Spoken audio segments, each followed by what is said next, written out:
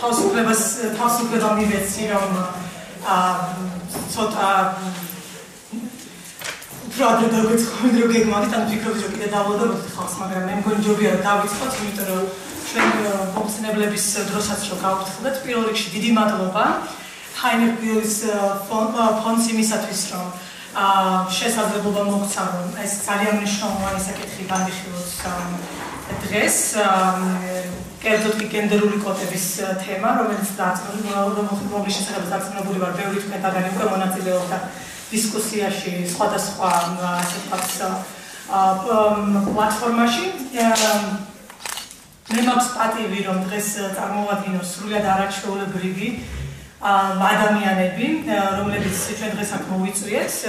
ესენი გახლავენ პოლიტიკოსი ქალები ერთის მხრივ თინა ბოკუჩავა საქართველოს პარლამენტის დეპუტატი ფრაქცია ნაციონალურ მოძრაობიდან ერთიანი ნაციონალურ მოძრაობიდან ხათუნა სამნიძე საქართველოს რესპუბლიკური პარტიის თავმჯდომარე და მეორეს მხრივ ქალთა ფონდის საქართველოსი აღმასრულებელი დირექტორი ნანა ფანცულაია ანუ არასამთავრობო სექტორის წარმომადგენელი და ბატონი ლევან სუსკიძე ნიდერლანდების ინსტიტუტი მრავალპარტიული დემოკრატიისთვის წარმომადგენელი საქართველოსში.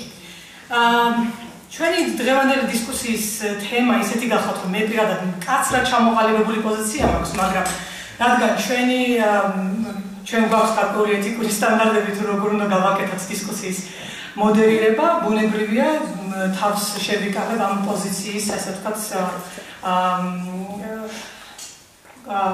მანიფესტაციისგან რამოდენიმე კითხვა რის გარშემოც მე მინდა რომ ამ ჩვენმა პატიცობრივ მოხსენებლებმა ისაუბრონ დღეს არის შემდეგი თუ რეალურად კოტირება რა შეცვლის საქართველოში რა ზიანს მოიტანს ის ამ რას აგებელს მოიტანს იმიტომ რომ ბევრი ადამიანი ფიქრობს იმას რომ შეიძლება ამას აგებელი საერთოდ ვერ მოიტანოს.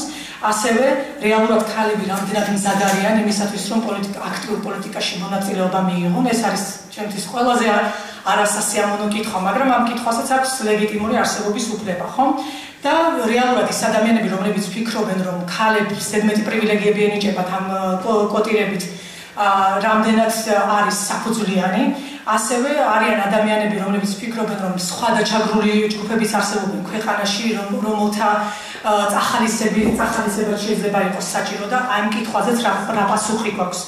აა ხომარ იქნება საჭირო რომ ქალებთან ერთად ამ სხვადასხვა ჯგუფებზეც ვიფიქროთ რომ რომელთა მიმართაც ისტორიული ჩაგვრა ისევე არის დადგენილი როგორც ქალების მიმართ და საერთოდ ეს არის საქართველოს სადაც ბევრ მნიშვნელოვან სამწუხაროდ მოვლენას აქვს სრულიად სიმბოლური ხასიათი და გენდერული კოტირებას ხო არ იქნება ქალების რეპრეზენტაციის სრულიად სიმბოლური ესე ვთქვათ გამოვლინება.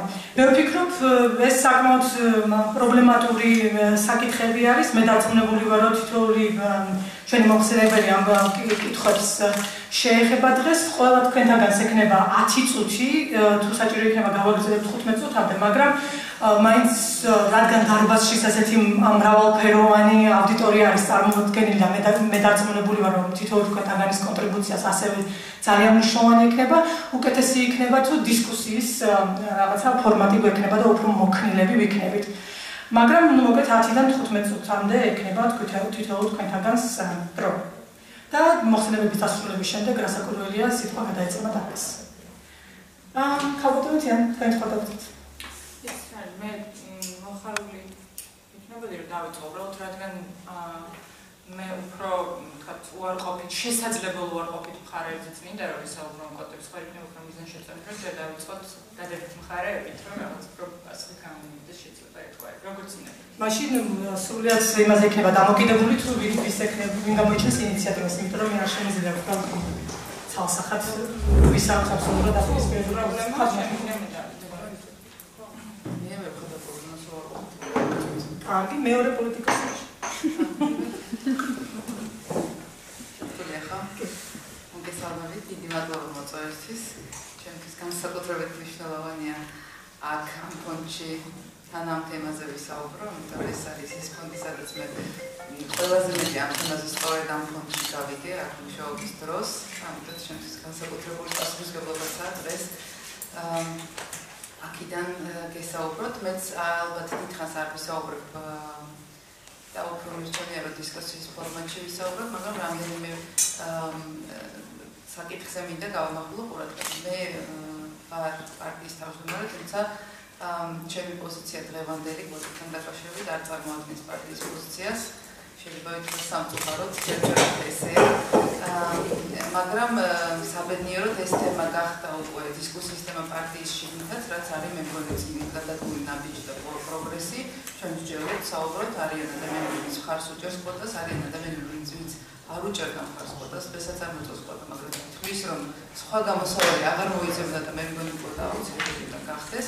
მათ შორის პარლამენტარებიც, რაც ჩემთვის ასევე ძალიან მნიშვნელოვანია, რომ დარწმუნებული ვარ, ეს დისკუსია ძალიან მალე გადავა პარლამენტში, განსაკუთრებით საარჩევნო კოდექსის დამხობის დროს და ჩვენ დავწერებთ იქეთი პარლამენტარის პოზიცია და ხმა ამ დროს. და არიან ადამიანები პარტიაში, ვინც კატეგორიული ძინავდებიან კოდის და განსაკუთრებით როგორც დისკრიმინაციულ გზას იმისკენ რომ ხალების რეპრეზენტატივობა გაიზარდოს თუმცა ვერ ხედავენ ამაში გამოსავალს და თვლიან რომ პარლამენტში ამით არ მოხვდებიან ისეთი ქალები რომელიც როგორებისაც მოლოდინი გვაქვს რომ ეყოლებიან პოლიტიკაში.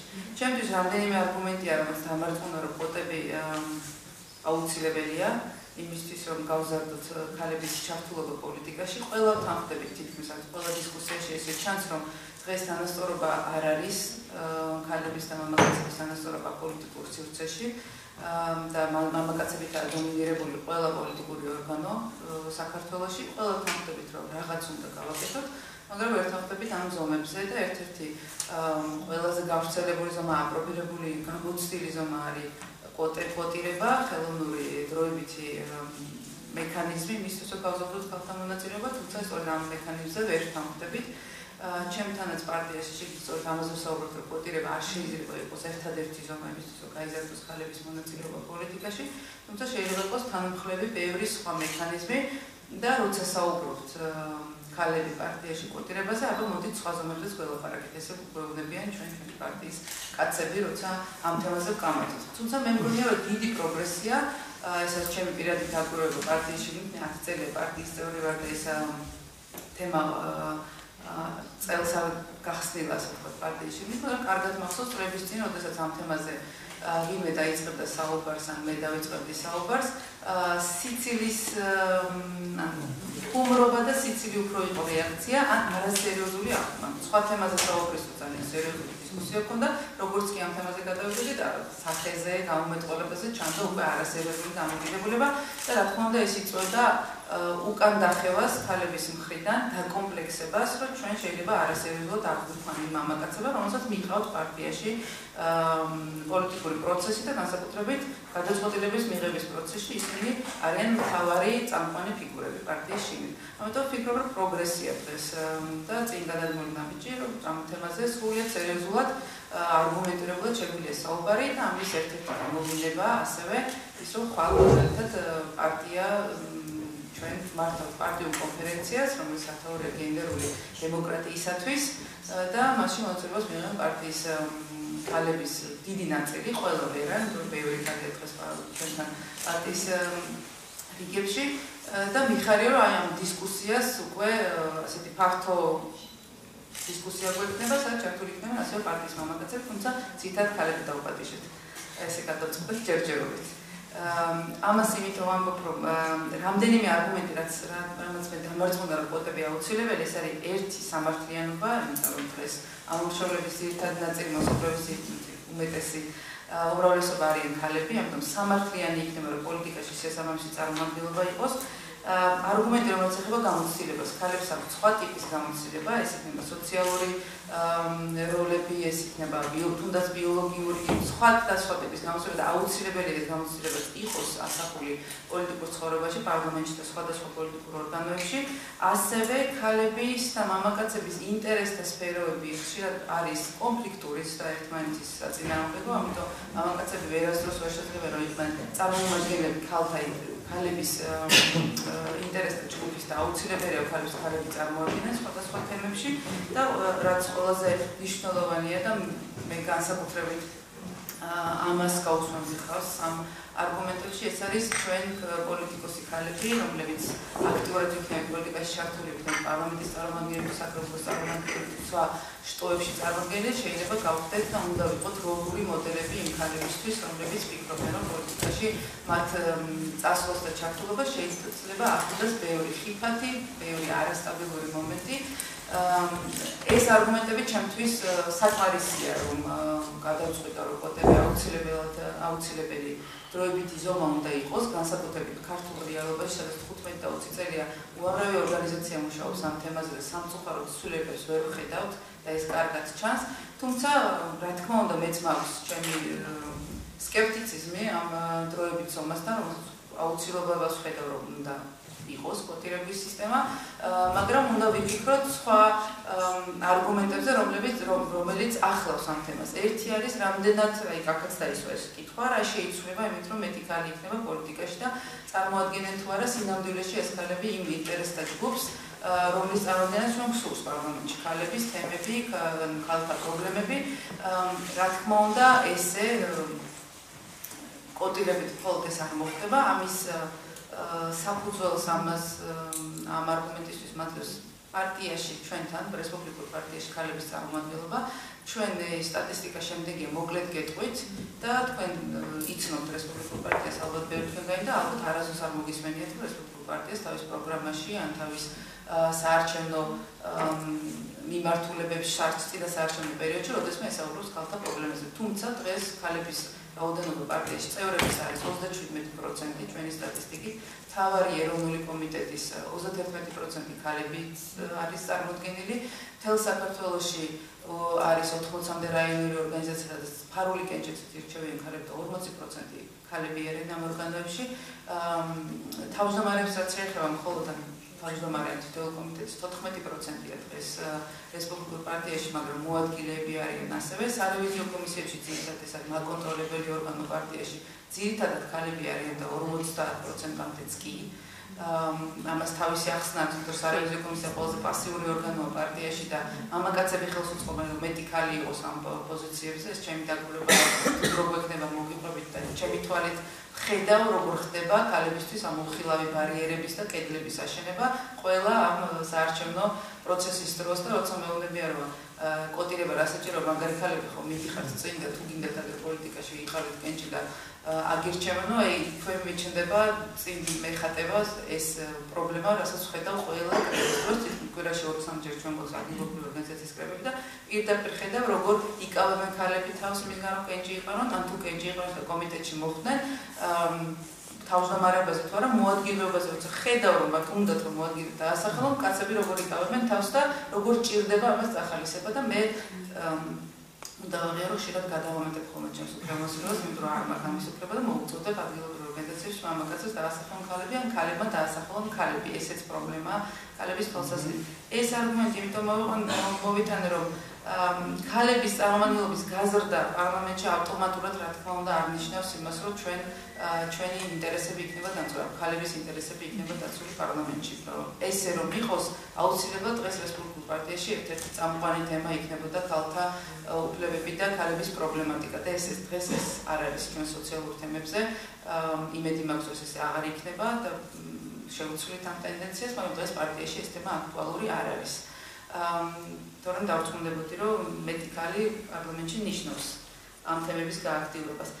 მაგრამ თუ ჩვენ არ ვიზრუნებთ იმას, რომ ქალების რაოდენობა გაიზარდოს, მაშინ ამ თემების აქტუალიზაცია პარლამენტში და პოლიტიკურ ცხოვრებაში და პროგრამაში ამის შანსი გვექნება ისეთივე როგორც ქონდა გუშინ, თუმცა დღესაც ნული. იმიტომ რომ მე დღეს ამის მაგალითებს და შანსს ვერ ვხედავ, ასე ვთქვათ, არ არის ეს აქტუალური თემა დღეს ქალებისთვის, რომლებიც არიან არ უშავს პანიკის გარეშე. აა თუმცა რა თქმა უნდა ჩნდება ალბათობა იმისა, რომ რაც უფრო მეტი ქალი იქნება, უფრო მეტად იქნება ჩვენი ინტერესები დაცული. ამიტომ ალბათობა იზრდება, ჩემთვის ეს უკვე არგუმენტია, როცა დღეს ვხედავ ამის საშუალებას, მაგრამ უმოვლში იმედით შევხედავ ამას. სხვა ჯგუფები უნდა იყოს თუ არა წარმოქმნილი ამაზე მინდა თქვა ყველა სხვა ჯგუფში ყველა სხვადასხვა სხვადასხვა ინტერესთა ჯგუფში ყველგან არის ხალი წარმოქმნილი, ამიტომ ეს უყურებ რომ გალების კვოტა სწორედ ამას უზრუნველყოფს, რომ ყველა ჯგუფის ინტერესი იქნება წარმოქმნილი და მე კვოტას უყურებ როგორც პირველ ნაბიჯს რომ მეორე ნაბიჯს ვერასოდეს ვერ გადავთქვამს, პირველი ნაბიჯი არ გადავდით და პირველი ნაბიჯი უნდა იყოს სწორედ წარმომადგენლობის გაზრდა, ეს უნდა იყოს რეზულტატი და შესაბამისად პარალელურად უნდა მივშოთ იმაზე, რომ ქალებმა, რომლებიც აქტიურად შეერთდნენ პარლამენტში, არ ჩათვალონ, რომ ბევრ მამაკაცში მათი უნიკალურობა და ის რომ ისინი ცოტანი არიან და ძალიან ხშირად მისთვის სოციალები ამბობენ, რომ აი შევედი სულ მამაკაცებისთან და მე სიამაყე ვიყავ ერთადერთი ქალი ამ ამ ჯგუფში, მესმის პოლიტიკოსი ქალებისგან სამწუხაროდ ესეთი არგუმენტი, სანამ ჩვენ ამ სიამაყეს რომელს არ დავთმობთ, არ ჩავთვლით ეს არის ჩვენი ჩვენთვის უნდა იყოს სამაყო რამდენ მამაკაცი მივაღწევთ იმას, რომ ჩვენს იგივე პოზიციები გვაქვს, ალბათ არაფერი არ შეიძლება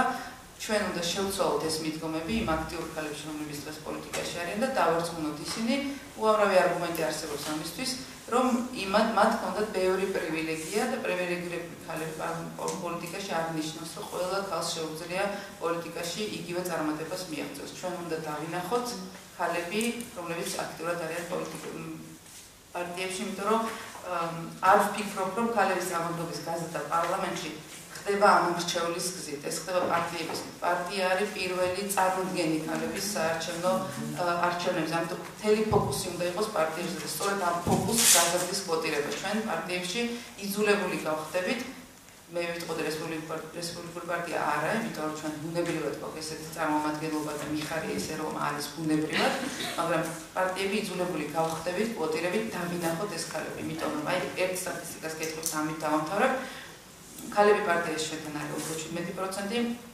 ეროვნულ მთავარ კომიტეტში, რომელიც წარმართავს პარტიას, 31%-ია ქალები, მართლ კომიტეტებში, როგორც გითხარით, 30%, მაგრამ ჩვენ ადგილობრივ არჩევნებზე ჩვენი კანდიდატების მხოლოდ 20% წარმოადგენენ ქალები სამწუხაროდ ეს არის რეალობა და რაც შეეხება შედეგს ეს იყო წარმოდგენილი კანდიდატები მაჟორიტარული კანდიდატების ყოდა და რაც შეეხება რეალობას დღეს მაგალითად კომიტეტები რომელიც 80-მდე კომიტეტია პარტიის 19% ხელმძღვანელ 19% ქალების ხელმძღვანელობს ამ კომიტეტს და თანამდებობის პირების საკრებულოებში შესაბამისად არიან 14% ანუ ეს ადასტურებს იმას, რომ მაგარი ქალები, ესე ვიტყოდი, რომლებიც პარტიაში არიან ძლიერი მაგარი ქალები, თანამდებობის პირები არიან პარტიულ სტრუქტურებში, ისინი ახერხებენ იმასაც, რომ ისინი საკრებულოებში და ადგილობრივ ორგანიზაციებში ასევე იყვნენ თანამდებობის პირები და წამყვან პოზიციებში. ანუ ეს ის ქალებია, რომლებიც ამდენი ხანია ძალიან ბევრს იბრძვიან იმის ბევრს მუშაობენ იმისთვის და 53 ენერგიას ხარჯავენ, რომ იგივე პოზიციას მიაღწიონ რაც კაცებმა.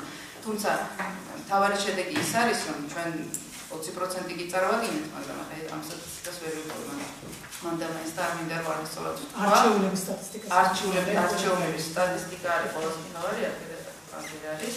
ან თუ პარტიაში თავ კომიტეტში 31%-ია და მართლ კომიტეტებში 30, დღეს რესპუბლიკელი ქალები პარლამენტში არის მხოლოდ 11%, ერთი ქალია რესპუბლიკელი პარლამენტში, როგორც იცით, და რესპუბლიკელი ქალები საკრებულოებში, ამ მთელი საქართველოში არის მხოლოდ 17%. ეს კიდევ ერთხელ ადასტურებს, რომ პარტიებში, სადაც ქალები ძალიან აქტიურად სად აქტიურად მუშაობენ, სად არიან პოლიტიკისთვის, ანუ ეს კითხვა რომ ამდენად არის ქალები სად პოლიტიკისთვის, მე ჩემ მე ცოტა უხერხული მგონია ამ კითხვის დასმა, იმიტომ რომ პარტიაში მართლა აქტიური ქალები არიან, უბრალოდ პარტიები არ ზრუნავენ იმაზე, ვერ ხედავენ ისეთ ქალებს, რომ ქალები წარადგინონ.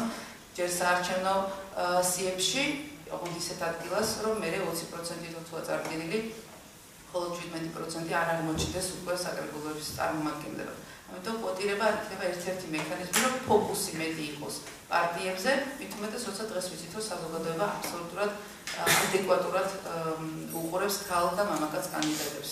გუშინ იყო აირების პროგრამა, რომელიც ოფიციალური არ არის, მაგრამ ერთ-ერთი მონაცემი იყო სწორედ ესეთი, რომ ნახევარზე მეტი ადამიანებს ამბობს, რომ რამ მნიშვნელობაა კვალიფიკაცია ავერჩევ და ასევე 30% იყო, რომელიც ამბობს, რომ კალი კანდიდატი იქნება აქტიური სამ იგივე კვალიფიკაციის აღჭერდი ხალხს. ამ საზოგადოება მისთვის წადარი, პარტიები ამისთვის წადარიან. პოტირება მე მგონი ამ ზაობას გაათანაბრდა და დიდი მადლობა. შეთო გამიგზავნოთ. დიდი მადლობა. სხვათა შორის ინდიის კვლევაც იყო ადრე და საკმაოდ დიდი პროცენტი ადამიანებისა ფიქრობდა, რომ უფრო მეტი ხალი პოლიტიკაში იქნებოდა უფრო სასურველი. ჩვენ როცა ვამბობთ პოლიტიკაში, მხოლოდ პარლამენტი არ უნდა ვიგულისხმოთ, უნდა ვიგულისხმოთ ადგილობრივი უნდა ვიგულისხმოთ ადგილობრივი თვითმმართველობის ორგანოებიც, თავრობაც, სადაც ასევე ძალიან ცოტა ხანი ყავს სამწუხაროდ. ადგილობრივ თვითმმართველობაში საერთოდ კატასტროფული მდგომარეობაა. ესე იგი თანამდებობის თანამდებობის დაკავების თვალსაზრისით ხომ მხოლოდ ერთი ქალი არის გამგებელი მთელ საქართველოში. ძალიან დიდი მადლობა მინდა გადაგიხადოთ ხართ ასეთი პატრიოტსანი, ასე ვთქვათ, პრეზენტაციისათვის რესპუბლიკური პარტიის პოზიციისა. მე ვფიქრობ, რომ ეს წინააღმდეგობა, რაც თქვენ დახატეთ, რაც არის პარტიაში, ძალიან მნიშვნელოვანი არის და ძალიან მნიშვნელოვანი არის, რომ გულწრფელად გულწრფელად გითხარით.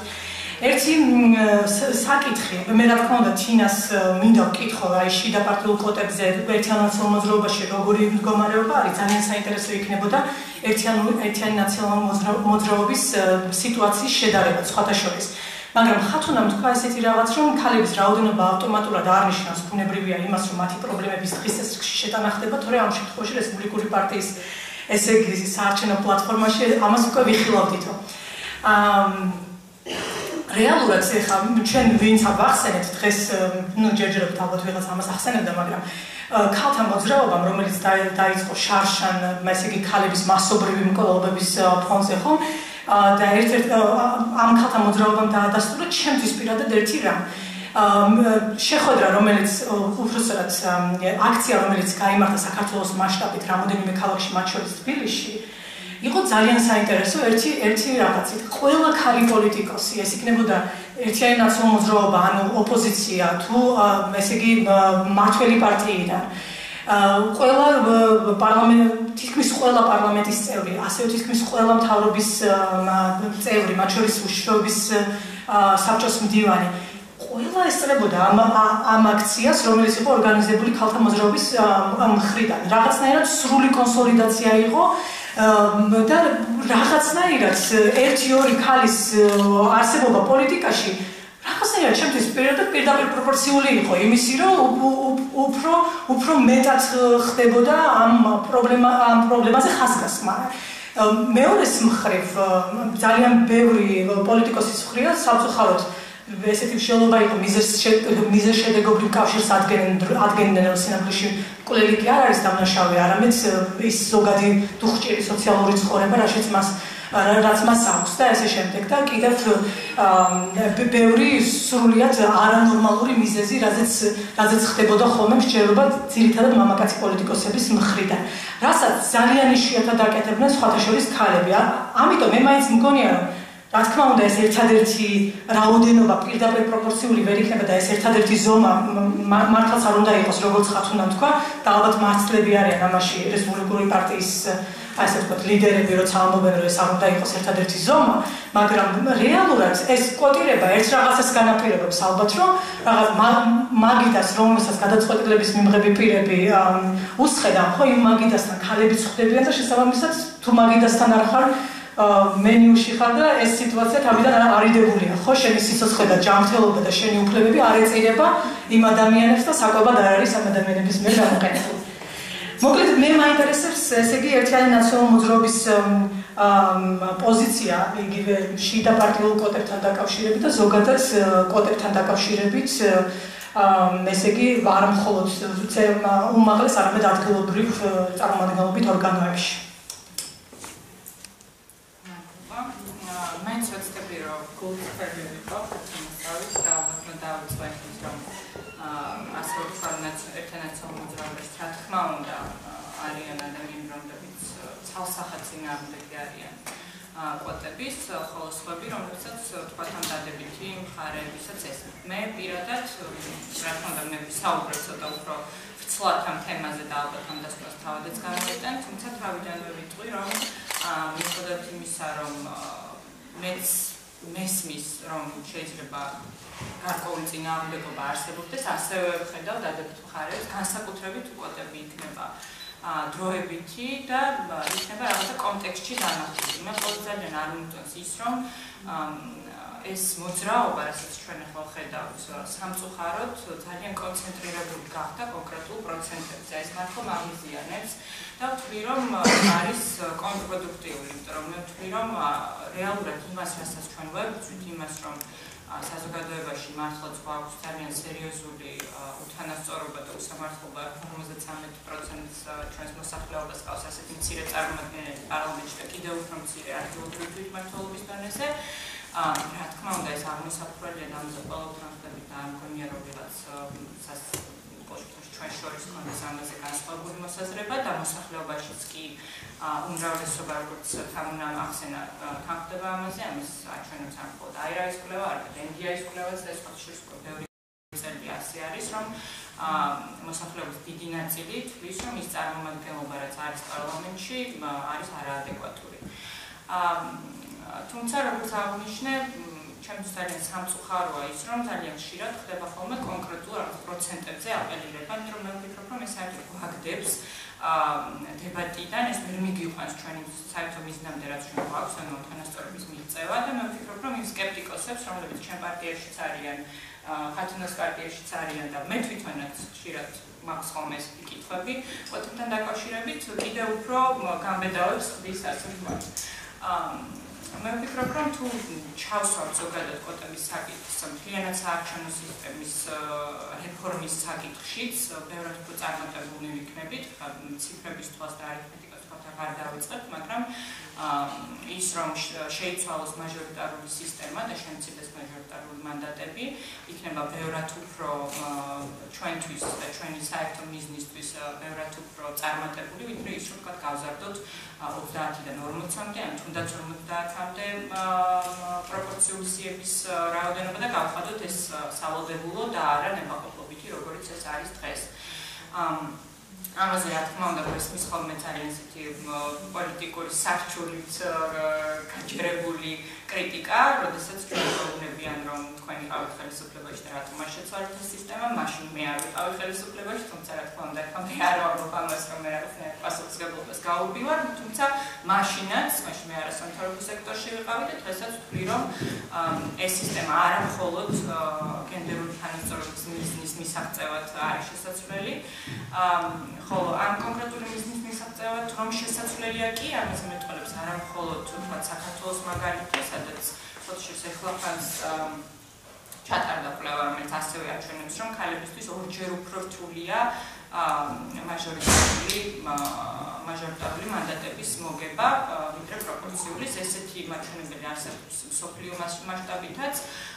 იმ ქვეყნებში რომლებშიც არის პროპორციული სიებით დაკომპლექტება ხდება პარლამენტის იქ დაახლოებით 22% არიან ქალები, ეს რა თქმა უნდა საშუალო არითმეტიკული არის გამოყვანილი. ხა იქ იქნება თქვა რაღაცები, რასაც ვერ გააკონტროლებ და უფრო დეტალურად უნდა შეხედო, რომ მართლა შეგეძლოს რაღაც განზოგადება, თუმცა საერთო სურათს მაინც გვაძლევს და მე ვფიქრობ, რომ გვაძლევს იმის საფუძველს, რომ გავაკეთოთ ესეთი განცხადება, რომ single mandate ერთმანდატიან ოლქებში სადაც ხდება არჩევნები არის ბევრად უფრო რთული ქალებისთვის მოსაგები ვიდრე ვიდრე როდესაც ეს საარჩევნო სისტემა არის უფრო პროპორციულზე ორიენტირებული.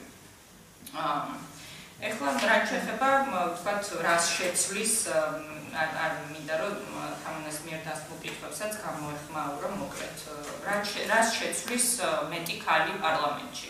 ну გარდა იმისა რომ გახდის პოლიტიკას პოლიტიკურ პროცესს ბევრად უფრო წარმომადგენლობით. რა თქმა უნდა, ჩვენი იმედი არის ის, რომ მოხდება მეტად ქალთა საკითხების აქტუალიზაცია. ეს არის იმედი. თუმცა ის სწორედ აქაც არის ჩემი скеპტიციზმი, აქაც იჩენს ხოლმე თავს, იმიტომ რომ ხანდახან არ ვარ დარწმუნებული იმაში, რომ ასე ვთქვათ, ეს კრიტიკული მასის თეორია, ანუ ის რომ ჩვენ გავზრდით უბრალოდ ციფრებს კოტირების კოტირების შედეგად ეს რეალურად მოგვიტანს იმას, რისი მიღწევას ჩვენ გვინდა, ანუ მოხდება ქალთა საკითხების აქტუალიზაცია.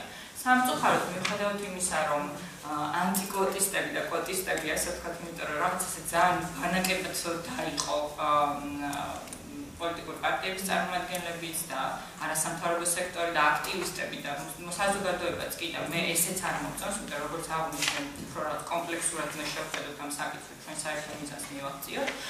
აა მაგრამ კოდისტები და ასე ვთქვათ, ანტიკოდისტები დაობენ ამაზე და ამბობენ, რომ რა თქმა უნდა, როცა არის მეტი ხალი პარლამენტში, რა თქმა უნდა, ავტომატურად მოხდება ქალთა უფლებების ქალთა უფლებების დაცვა უფრო აქტიურად, უფრო წარმატებულად, უფრო ეფექტურად, მოხდება ქალთა საკითხების აქტუალიზაცია, ხოლო სხვა ქალები კი ამბობენ, რომ ეს არ იქნება ასე, ანუ ისინი წინააღმდეგებია კოტის და თვლიან, რომ პირიქით ეს არის რაღაც ქალის შეურაცხყოფა, თუ ისინი კოტის შედეგად მოხდებიან პარლამენტში. ხა სიმართლე გითხრათ, შეიძლება ცოტა ის განცხადება ვაკეთებ, მაგრამ პოზიტიური დისკრიმინაციის მსხვერპლი იქნები თუ ნეგატიური დისკრიმინაციის ჩვეულებრივი დისკრიმინაციის მსხვერპლი იქნები, ჩემთვის პირადად ალბათ დიდი მნიშვნელობა არ აქვს, თუმცა არც ის მომწონს, არც ის მომწონს. რა თქმა უნდა, მეც მინდა რომ ეს საზოგადოებაში ცხოვრობდე, სადაც არც პოზიტიური დისკრიმინაციის ბერკეტები მჭირდება იმისთვის, რომ თავარქმევთ ამას მაკომპენსირებელ ზომას თუ მადისკრიმინირებელ ზომას, არანაირი თქვა განსხვავებული ბერკეტი ჩემთვის არ არსებობდეს.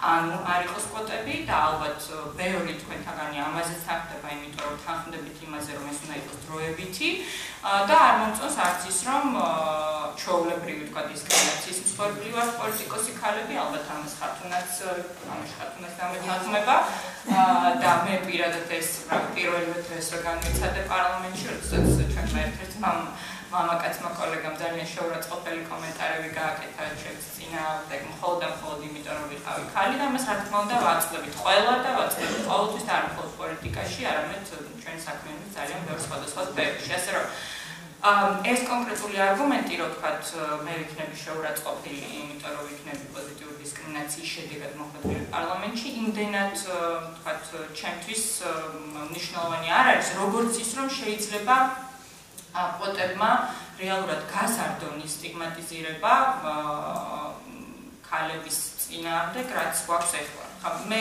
ამის გადაჭრით ამ ძელთ ვერ ვიტყვი. სამწუხაროდ ის კვლევები, რომელზეც ძალიან ბევრი ძალიან ბევრი აპელირებს, არ არსებობს ესეთი, ანუ სხვადასხვა ქვეყნების მაგალითები, რო თქვა, ყაზახეთში, მე მგონი მიიღეს 2006 წელს, მაგრამ სხვადასხვა ქვეყნებში შეგვიძლია თქვა, ხო, სხვადასხვა ქვეყნებში მიიღეს კვოტები და ამის შედეგად რეალურად რამდენად მოხდა ქალთა საკითხების აქტუალიზაცია და რამდენად მოხდა არა მხოლოდ მათი აქტუალიზაცია, არამედ მე ამ საკითხების წარმატების გადაჭრა.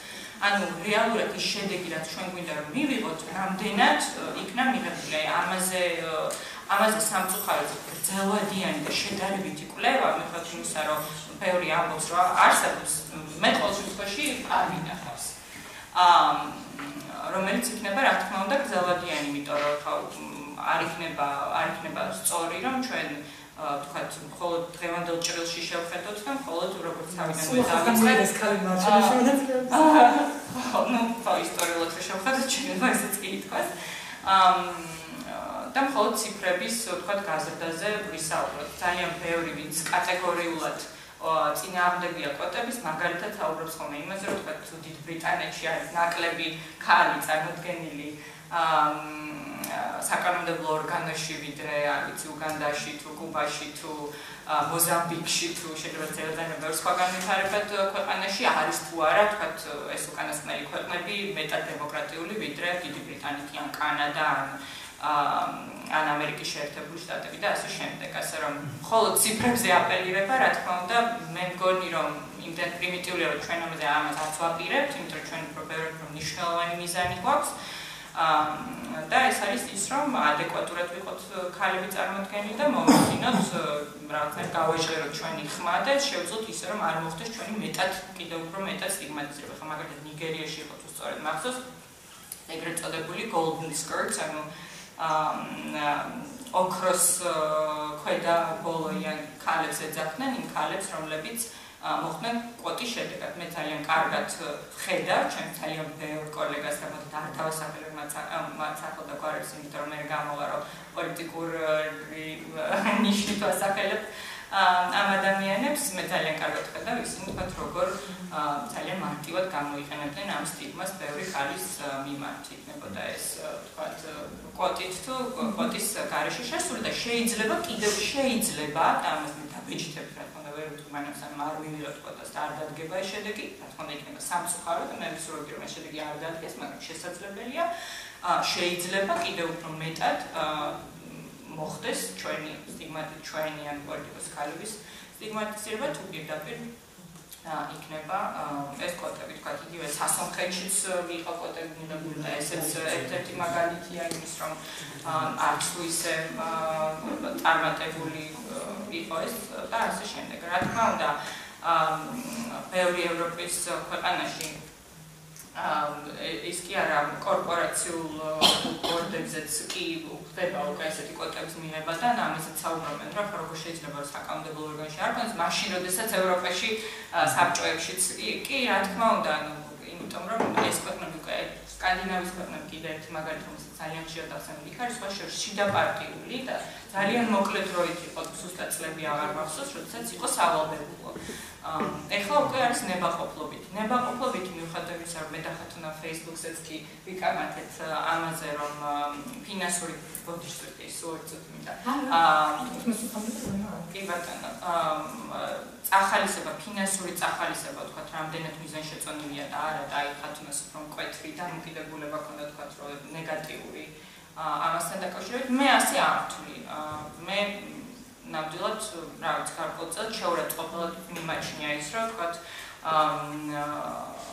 ფინანსური წახალისების შედეგად ვინც მოხდა თქვა ჩვენ საკრებულოებში და ასეთი ყავს 40 ქალი ისინი მართლა არა ჩვეულებრივი ქალები არიან ძალიან აქტიურები და ძალიან თავდადებულები და არც ერთ სხვადასხვა არ უღალატია აა თავის პარტიისთვის ძალიან დიდი პრობლემა იყო მოგეხსენება ჩვენთვის.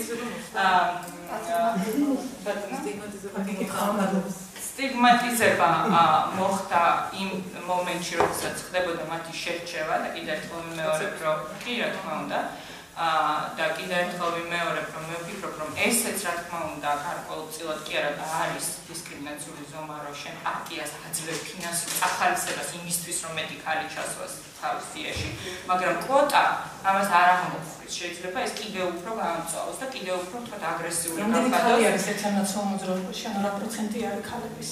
აი ეს არის. 10.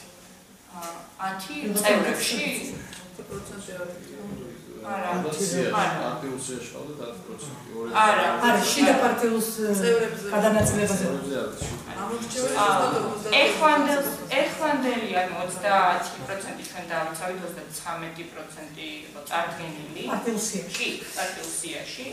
აა მე მგონა თქვენ მეკითხებით ჩვენ წევრებს შორის და ხდება თქვა საბჭოებში ამდენი მაგალითად ჩვენ სკოლის საბჭოში ხალი ამდენია ზუსტად ადგილი არ ყავს თქვა გადაწყვეტილების მიკროფონში თუ მინდა და ასე შემდეგ მაგრამ ესეც აი აქაც weighted average როქვია ეწოდებული.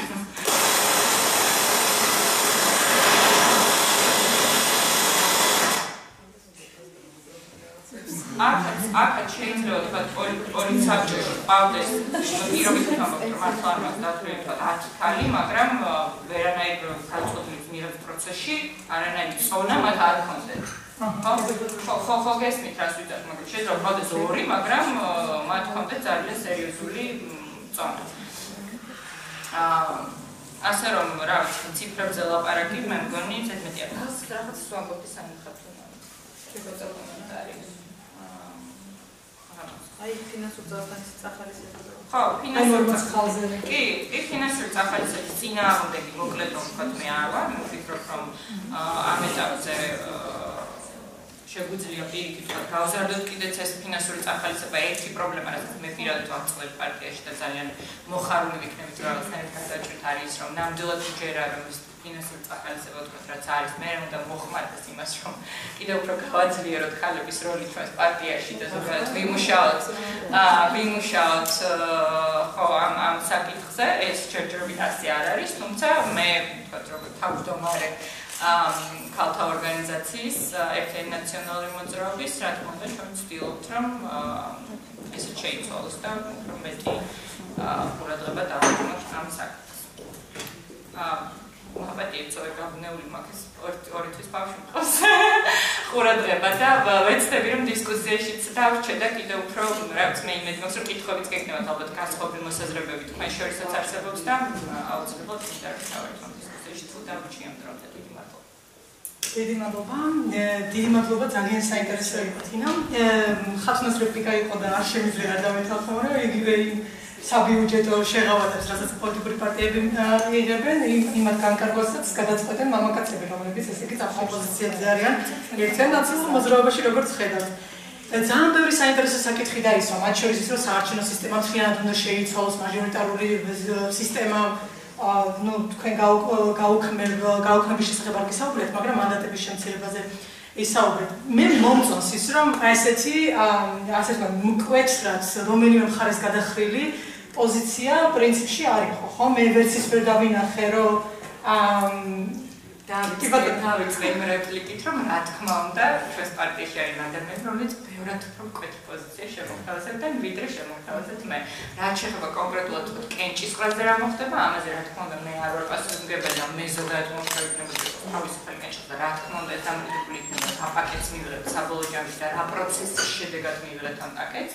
იქნება თუ არა კიდევ ერთხელ ვიმეორებ ეს რაღაც უფრო კონტექსტში ჩასული იგივე საარჩევნო სისტემა ის რეფორმა რაში იმიტომ რომ მე ძალიან არ მომეწონება ის რომ რაღაცნაირად თქვა კვოტები მიიღოს ახლა ქართულმა ოცნებამ და გვერდზე გვერდზე გადადოს საარჩევნო სისტემის რეფორმები პროგრესიულად არა გულწრფელი და ეს ნამდვილად იქნება თვალებში ნაცრის შეყრა მთლიანად სამოქალაქო სექტორისთვის რომელიც ორივე თემაზე მუშაობს უბრალოდ ერთ-ერთი ის არის რომ ამ ერთ-ერთად ამის განხილვა არ ხდება ისე ხშირად როგორც მე ვისურვებ. ბატონო, დიდი მადლობა, ახლა გეთანხმებით, ეს საუცილებლად იქნება, რომ საარჩევნო სისტემის საკითხიც იყოს განხილული პარალელურად. მაგრამ ეს არ არის დღეს ჩვენი თემა, მაინც კოტებს რომ დაუბრუნდეთ, მიუხედავად იმისა,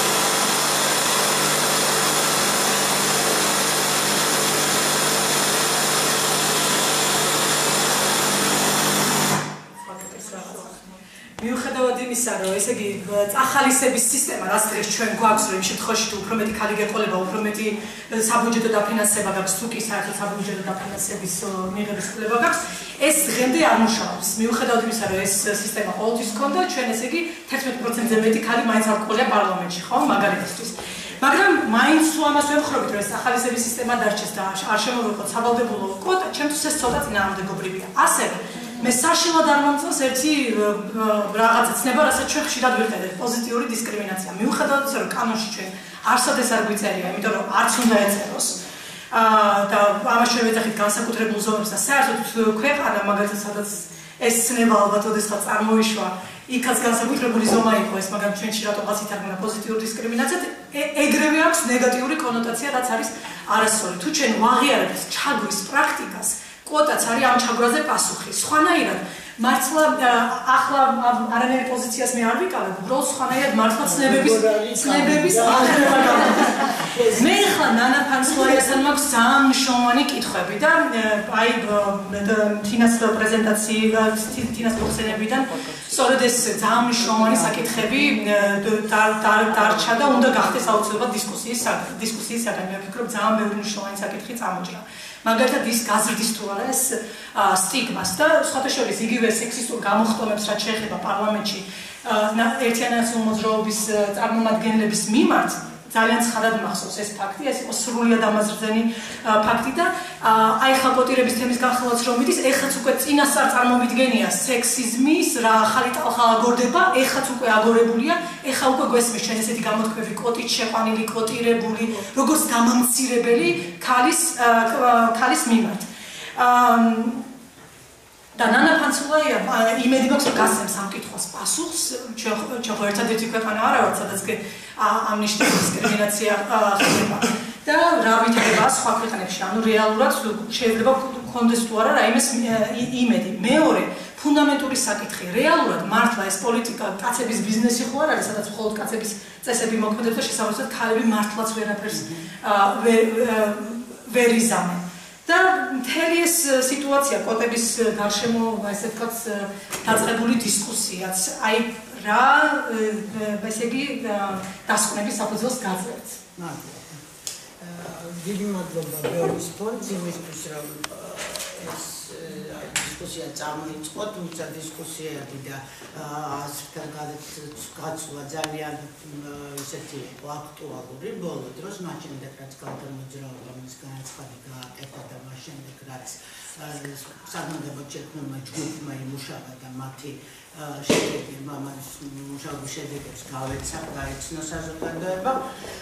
და მაგრამ მინდა იმის თქვა, რომ ქალები ამ საკითხებს ეხლა არ დაფიქრებულან და მათ შორის არც საქართველოში. ძალიან დიდი ხანია. მას შემდეგ რა ჩვენ შევუერთეთ იმ საერთაშორისო საერთაშორისო კონვენციებს და ალბალდებულებს. თავად ქალთა ორგანიზაციები ამაზე ძალიან დიდი ინტენსივობით მუშაობდნენ და 2008 წელს კიდევაც იყო ძალიან კონკრეტული კონკრეტული ინიციატივა, მაგრამ ხარდაჭერილი არ იყო და შეგროვდა ხელმოწერები ამაზე და ალბათ აქ დავსწრებმა იციან და არიან კიდევაც აქ ალბათ მათ შორის ვინ ჩართული იყო ამ პროცესში. ეხლა ჩვენ ყველა ალბათ თანხდებით იმაზე, ალბათ ძალიან წყალებში ვსვამ, რომ ხელშესახები ცვლილება და პროგრესი თუ გვინდა ქვეყანაში, უნდა იყოს უზრუნველყოფილი რაღაცნაირად მაინც გენდერული თანასწორობა. ამ თანასწორობისგან გადადგმული ნაბიჯები არის ძალიან მნიშვნელოვანი, ამას აკეთებს ქალთა მოძრაობა, მართლაც შაშანეს არ დაწყებულა, დაიწყო დიდი ხნით ადრე, მაგრამ ეს მუდამესია, ეს არ არის მარტო ქართული რეალობა. ყოველი აუცილებლად და აუცილებლად უკუ რეაქციით, რასაც ბექლე შვეძახით, ათისრულდება, იმიტომ რომ ყველა ეს შეიძლება იყოს კონსერვატორული მთავრობის მხრიდან, ეს შეიძლება იყოს რელიგიური ჯგუფების და სხვადასხვა საზოგადოებრივი ჯგუფებიდანაც კი. ანუ ეს პროცესი სულ ესეა, რაღაცა ნაბიჯი გადაიდიმება, ამას მოყვება დიდი კონცერტები და უკუ რეაქციები, ეს მარტო კვოტებს არ ეხება, ზოგადად თანასწორობისკენ გადადგმულ ნაბიჯებს. ეხლა და რა თქმა უნდა ეს ზრდის ჩვენთვის ქალთა ორგანიზაციებისთვის გამოწვევებს, ხო? იმიტომ რომ ეს ტრენდები ძალიან დიდი საფრთხის მომცველები არიან და უქმნიან მარტო ხალხს არა, ზოგადად ადამიანების, ადამიანთა უფლებებს, ადამიანის უფლებებს, ნორმებს, სტანდარტებს უქმნიან საფრთხეს. ქალთა ორგანიზაციები, ფემინისტი აქტივისტები, ქალთა უფლებების გამცველები სხვა სხვა ძალიან კარგად აცნობიერებენ იმას, რომ პატრიარქატს აქვს თავისი ძალიან კაცრი დაწესებული ლიმიტები და ბარიერები, რომლის დარღვევა თავისთავად არის ძალიან ცუდი. ძალიან ძნელი და ძალიან კარგი. მაგრამ თელ სოფლიოში ეხლა უკვე შეიძლება ახალი ძალიან საინტერესო პარადი. რომელიც აი მე მგონი რაღაცნაირად ვინც კოდების წინააღმდეგია მათთვის უნდა იყოს გასათვალისწინებელი რომელიც ლიბერალური დღის წესრიგის მიღება და ქალთა უფლებების დამცველები სხვა სხვა მოძრაობებთან ერთად ცდილობენ რომ წარმოიდგინონ უკვე პოსტპატრიარქალური საზოგადოება. ეხლა ეს არ არის სიგიჟე. ეს ბევრ ქვეყანაში ამისკენ უკვე ძალიან უფრო ახლოს არიან ვიდრე ჩვენ და არც უტოპია არ არის. და როდესაც ქალები ფიქრობენ რა ცვლილებები შეიძლება და როგორ გაუმჯობესდეს თუნდაც პოლიტიკური სისტემა იქნება ეს თუ ქალების ეკონომიკური ჩართულობა და სხვა სხვა სოციალური საკითხები ფიქრობენ იმაზე რა თქმა უნდა ჯერ რა გვინდა და მე რა შემიძლია ოდინება ყოველთვის იყო ის საკითხი, რომ შეიძლება ესეთი რაღაც იმის გამო, რომ 90-იანი წლებიდან მას შემდეგ, რაც ჩაითვალა, რომ ქალთა მონაწილეობა და მათი წარმომადგენლობა პოლიტიკაში არის ძალიან მნიშვნელოვანი და მის შემოიღოს ტერმინი, რაღაც ქვია აფირმატიული ქმედება, რომელსაც ჩვენ თავით როგორც პოზიტიურ ქმედებას ეს უკვე სავალდებულოც გახდა მას შემდეგ პირველი ნაბიჯი გადაიდგა ამისკენ 1990 წელს. შემდეგ უკვე პეკინის პლატფორმაზე უკვე პირდაპირ ჩაიწერა ეს ფრაზა რომ იმისთვის არის საჭირო რომ ქალს ექნება არამედ აქ გარეკო ლაპარაკი ბარიერებზე. ის არის დისკრიმინაციისგან დაზარალებული დისკრიმინაციის მსხვერპლია და ამდენად საჭიროა მისთვის ესეთი სახელმწიფოებმა მიიღონ გადადგენ პოზიტიური ნაბიჯები და სწორედ ის 30% 10 წლის ვადით ეს გაეროს ეკონომიკური და სოციალური საბჭოს მიერ იყო 90 წელს. ეხლა პეკინის პლატფორმა უფრო შორს წავიდა. ეხლა თქვენ იცით რომ ჩვენ ვართ სიდო კონვენციის ხელმომწერები და ისიც იცით რომ ამაზე ანგარიშებს ვაგზავნით, ღებულობთ რეკომენდაციებს და ხანდახან მე პოლიტიკოსებისგან გამიგია და სხვათა შორის არ ვიტყვი ვისგან, მაგრამ ხალი იყო ის ჩემზე სამწუხაროდ, რომ ეს ზოგი სავალდებულოა, ეს რეკომენდაციები სავალდებულო არ არის. ეს რეკომენდაციები თუ კი ქვეყანა არის ის არა მიერთებული ამას ის მისთვის ამ რეკომენდაციებს აქვს სავალდებულო ხასიათი. და ეს არის ძალიან მნიშვნელოვანი ამის გარდა ჩვენ გვინდა მოვაწერეთ ხელი ასოცირების ხელშეკრულება, სადაც ასევე დანასწორობაზე ქალთა წარმომადგენლობაზე ძალიან ბევრი რამ წერია. და ბოლო წლის შარშანდელ სიდოს რეკომენდაციაში უბრალოდ წერია, რომ კვოტირების სისტემა უნდა შემოიღოს საქართველოს თავრობამ იმის გამო, რომ რეპრეზენტაცია მოხდეს ქალთა. იმიტომ რომ წლების მანძილზე არამც თუ იზრდება მათი წარმომადგენლობა საკანონმდებლო და რო არამედ ცირდება. რაც შეეხება ახლა ამ თვითონ კვოტებს, თქვენ თქვით რომ ხო ლიბერალური დემოკრატია ამას რაღაცა მისი მიმდევრები და მომხრეები ამას უყურებენ როგორც არ უყურებენ ახლა თვათ ეს როგორ შეურაცხყოფელი, მაგრამ აი ეს ესეთი რაღაცა პოზიტიური დისკრიმინაციის თემა დგება, რომლის პასუხი არის ერთადერთი, რომ აფირმატიული ქმედება არ არის დისკრიმინაცია. აფირმატიული ქმედება არის იმ სისტემური და სტრუქტურული დისკრიმინაციის საწინააღმდეგო ზონა. ეხა ეს დროებით იქნება ხანგრძლივი, ამაზე მე მგონი ძალიან ადრეა ლაპარაკი, თუმცა ძალიან უყვართ ხოლმე პოლიტიკოსებს ხმა რომ ეს დროებითია რაღაცნაირად მე მგონი კაცი წარმომადგენლობის დასაწყნარებელია, შეიძლება ხანგრძლივიც იყოს, იმიტომ რომ ბევრ ქვეყანაში არის ძალიან ხანგრძლივად ეს.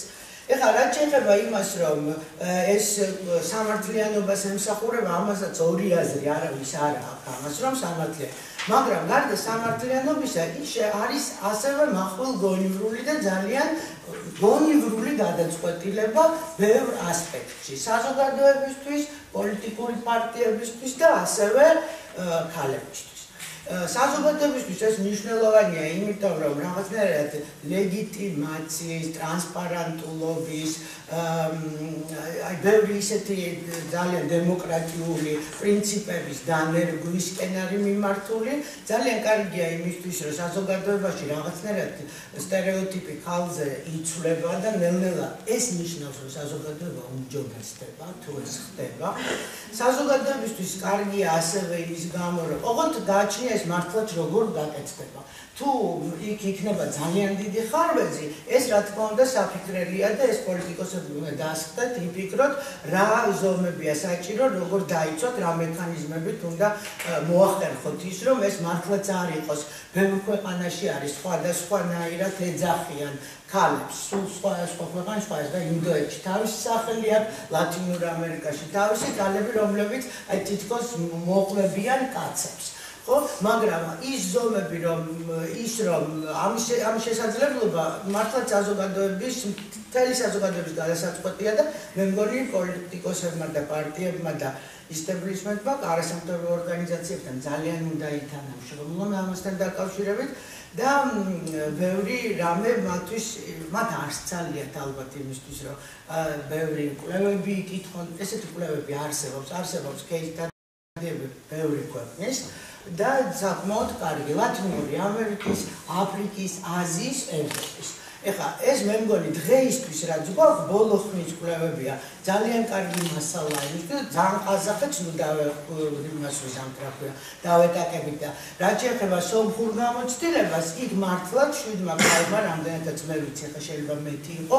ვარი თქვა მიუხედავად იმისა რომ კვოტირება აქვთ მათ და შევიდა პარლამენტში ვარი თქვა და კაცის და ჩაენაცვლა მას კაცი ეხლა რამდენადაც მე ვიცი ჩვენი task force-ის მიერ შეთავაზებაში და მე წავიკითხეს და ძალიან მომეწონა რომ ამ ადგილ მონაწილეობაზე ისინი ითხოვენ რომ თუ ხალი იყოს ვარც იმ მონაწილეს აუცილებლად ხალი და არა მომდევნო კაცი. ეს აუცილებლად მისაღები. ზომამდე და თავისუფლად შეიძლება რომ კოდირების შემთხვევაშიც ისევ მივიღოთ მეტი კაცი ეხლა რაც შეეხება ქალებისთვის, რომელიც ძალიან მნიშვნელოვანია, მართლაც ძალიან მნიშვნელოვანია, იმიტომ რომ რაც მეტი ქალია პოლიტიკაში, მით მარცხეთ ხათ უნდა თქვა ეს როლური მოდელია, რომელსაც ძალიან პოზიტიური გავლენა შეუძლია მოახდინოს სხვა ქალებზე, ქალებისთვის უპირველეს ყოვლისა ეს მნიშვნელოვანია იმისთვის, რომ ეს არის ქალის როგორც მოქალაქის უფლება, იყოს წარმოქმნილი და იყოს თანასწორუფლებიანი ამ სისტემაში, ხო, პოლიტიკურ სისტემაში. და დრო მაქვს, ხო, დროში ცუდად. ხო, რაც შეეხება პოლიტიკურ პარტიებს, მათთვის არის სასარგებლო, იმიტომ რომ მათ უომჯობესდებათ რეპუტაცია და იმიჯი, თუ იმ კვლევებს მივიღებთ ხედველობაში, რომ თურმე საზოგადოებას აქვს მოთხოვნა, რომ მეტი ხალი ნახოს პოლიტიკაში, ეს უკვე ნიშნავს იმას, რომ პოლიტიკურ პარტიას უსაც მეტი ეყოლება, უფრო მეტი ხარჯაჭერა ექნება და მისი რეპუტაცია გაუმჯობესდება. ასევე ის, რომ ხათნამეს თქვა და მეც უნდა გამოვიხილო, რომ ძალიან მნიშვნელოვანია, რომ ხალის გამოცდილება ჭირდება პოლიტიკურ სისტემას და ძალიან აკრია მას და ძალიან ხშირად იქ წარმოდგენილი ქალებიც მეილ გეიზ კაცის თვალით უყურებენ ხოლმე პოლიტიკურად გადასაწყვეტ საკითხებს, მაგრამ ეს ამათი რაოდენობა იმდენად მცირეა, რომ როდესაც მეტნი იქნებიან, ეს უნდა ვთქვა აუცილებლად, იმიტომ რომ ბევრი არ ეთანხმება ამ კრიტიკული მასის თეორიას, ხო? კრიტიკული უმცირესობა, რომელიც დიდი ხნის წინ დადგინდა, რომ ეს არის დაახლოებით 30-დან 40%-მდე, ეს არის ის უმცირესობა, რომელსაც შეუძლია უკვე რაღაც გავლენა მოახდინოს. ნამდვილად ვერ მოახდინა და ვერ გადაატრიალებს და პატრიარქატს ეს ვერ დაახობს, მაგრამ ცვლილებების მოტანა შეუძლია.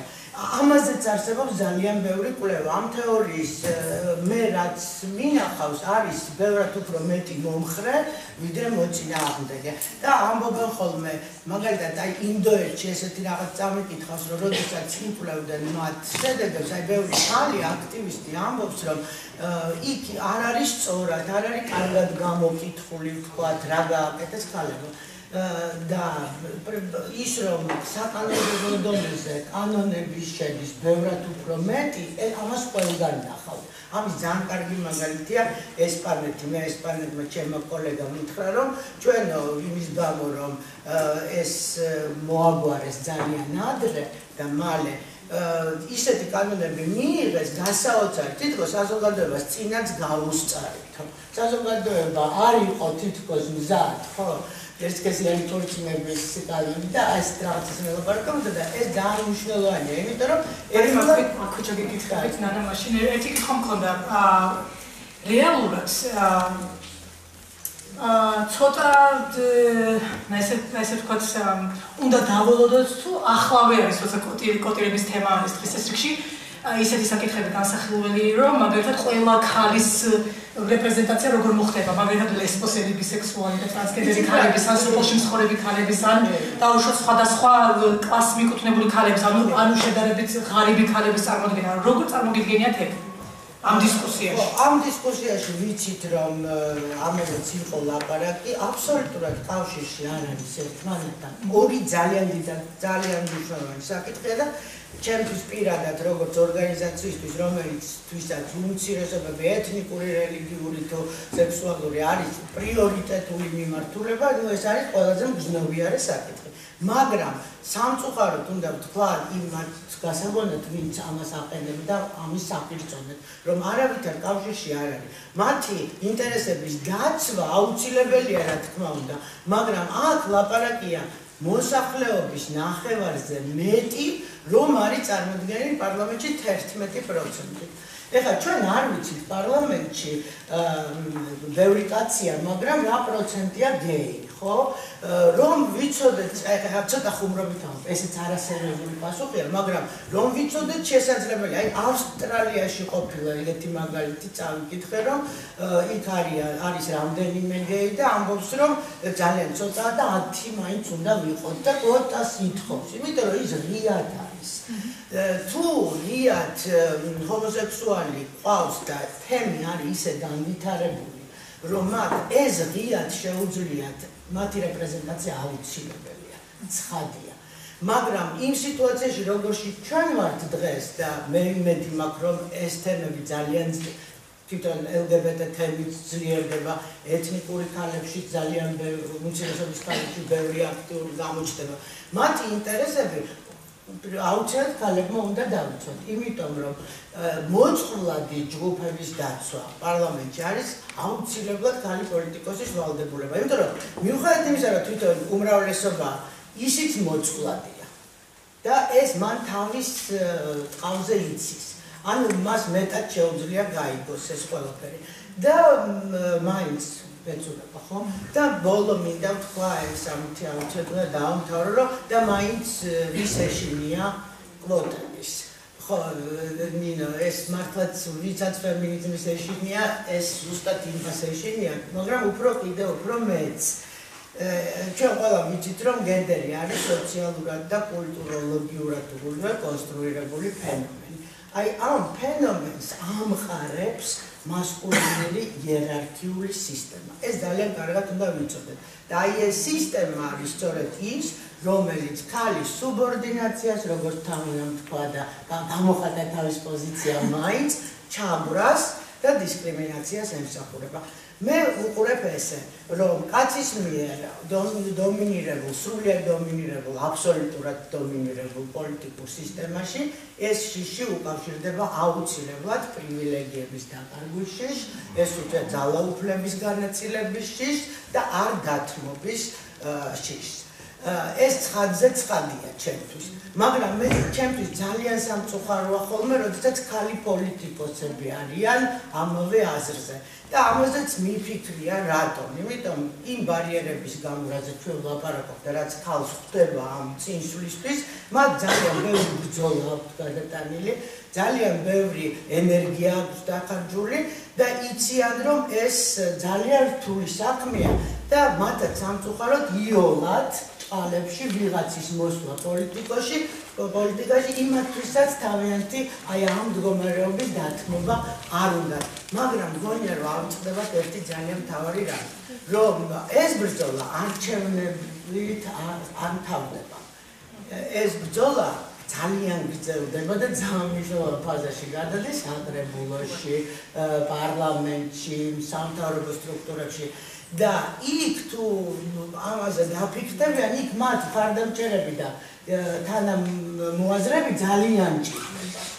თუ აქ მთავრდება და მე ფეხი-ფეხზე უნდა გადავიდოთ და პოლიტიკაში ვართ უკვე და ნახვამდის აღარ მოინტერესებს, მაგრამ თუ კიდე უნდა ვიბრძოლოთ, ჩვენ ძალიან გვჭირდება ესეთი ადამიანები და ძალიან ვერხრობი ერთი ძალიან ცნობილი სლოგანია და ძალიან მომწონს აქ რომ პოლიტიკაში ქალების ცოტა ქალის ყოფნა ნიშნავს ქალების ცვლილებას, ხოლო ბევრი ქალი პოლიტიკაში ნიშნავს პოლიტიკის ცვლილებას.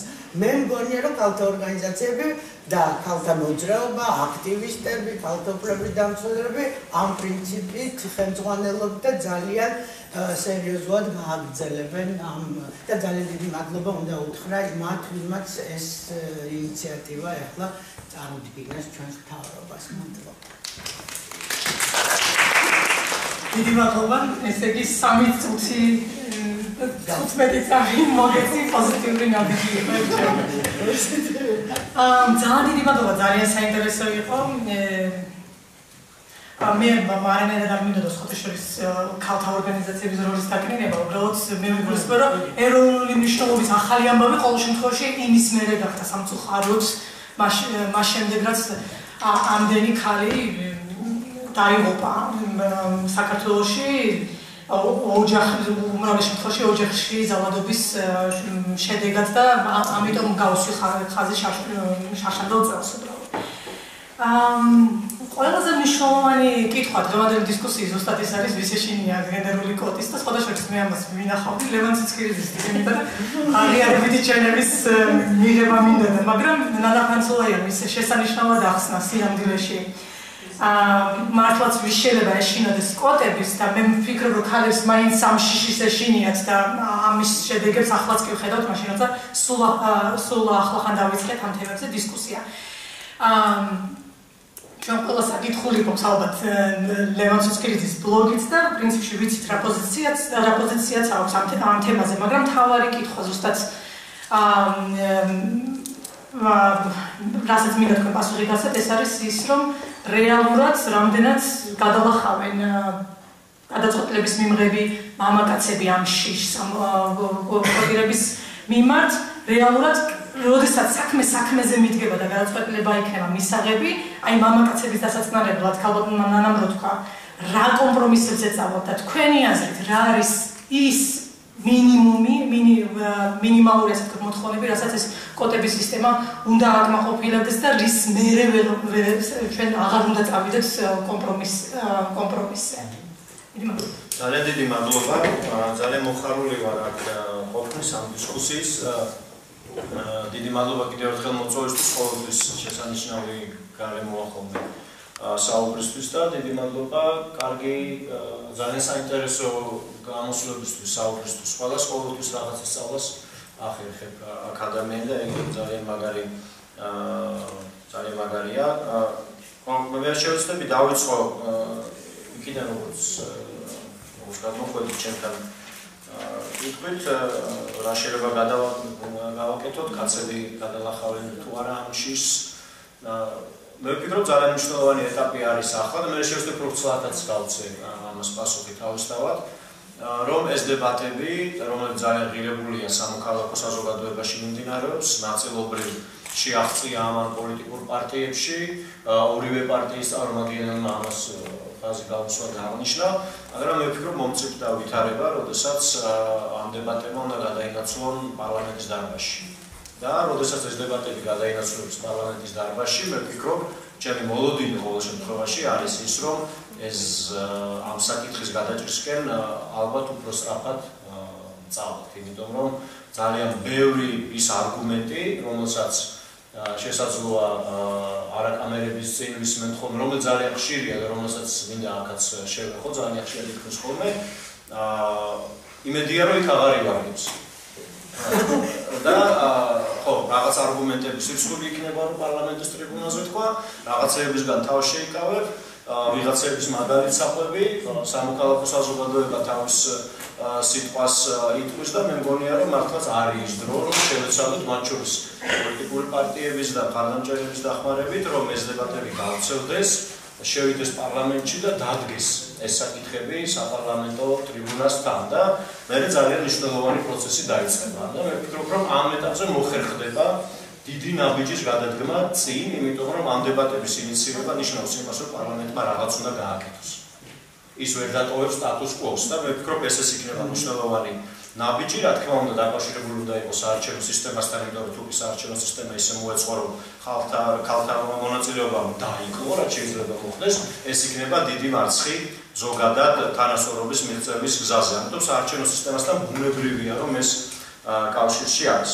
კარგი, ეს არის ჩემი მოკლე პასუხი. შევეცდები ცოტა სხვათაც ვისაუბრო, ალბათ დავტოვ ასევე დრო დისკუსიისთვის, იმიტომ რომ ნუ 4 ვართ და შევეცდები ლაკონური ვიყო. ჩემთვის სოციალური კოტებზე დისკუსია არის ორი მთავარი ამოსავალი საფუძველი, რომელსაც რომელსაც ვფიქრობ ხოლმე. პირველი ეს არის, რა თქმა უნდა, ღირებულებითი ფასეულობა და რამდენად ემსახურება ეს კოტები რაღაცა ღირებულის მიღწევას და მეორე არის მინდა პრაგმატული ფასეულობა, რას მივიღებთ კოტების შემოღების შედეგად, იქნება ეს საპარლამენტო კოტები თუ იქნება ეს შიდა პარტიული კოტები. ნუ დავიწყოთ ღირებულებითი ნაწილით, მე გადავალ უფრო პრაგმატულ, მაგრამ არანაკლებ მნიშვნელოვან საკითხებზე. ნუ ღირებულებით საკითხი, რა თქმა უნდა, თავისთავად ჩემთვის და დარწმუნებული ვარ აუდიტორიაში ყველასთვის თანასწორობა თავისთავად არის ღირებულება, რომელიც არის იმდენად მნიშვნელოვანი რამე, რომ ამისთვის ღირს სერიოზული ნაბიჯების გადადგმა.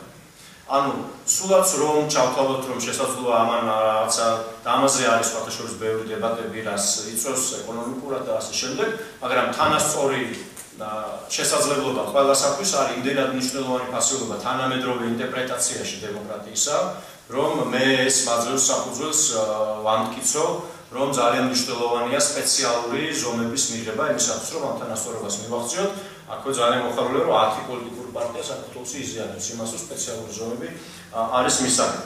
ანუ საიდან მოვდივართ ამ დისკუსიაზე, მოვდივართ იქიდან რომ ნუ პირველი უნდა აღიაროთ რომ არსებობს უთანასწორობა აა ქვეყანაში, საზოგადოებაში, უთანასწორობა ეკონომიკურ შესაძლებლობებში, უთანასწორობა განათლებაზე, ხელმისაწვდომობაში და სხვაგან და სხვაგან, აა შემოსავლებში და სხვა და თუკი ხედავთ რომ ეროვნულ დონეზე გვაქვს ასეთი თანასწორობა, მაშინ რა თქმა უნდა ეს უკვე ხდება ავტომატურად პოლიტიკური მნიშვნელობის საკითხი, რომელიც მოითხოვს პოლიტიკურ მოქმედებას. თავისთავად პოლიტიკური მოქმედება ვერ იქნება საკმარისი, სხვა კომპონენტებიც არის მნიშვნელოვანი, მაგრამ პოლიტიკური გადაწყვეტილებების გარეშეც ბევრი არაფერი არ გამოვა.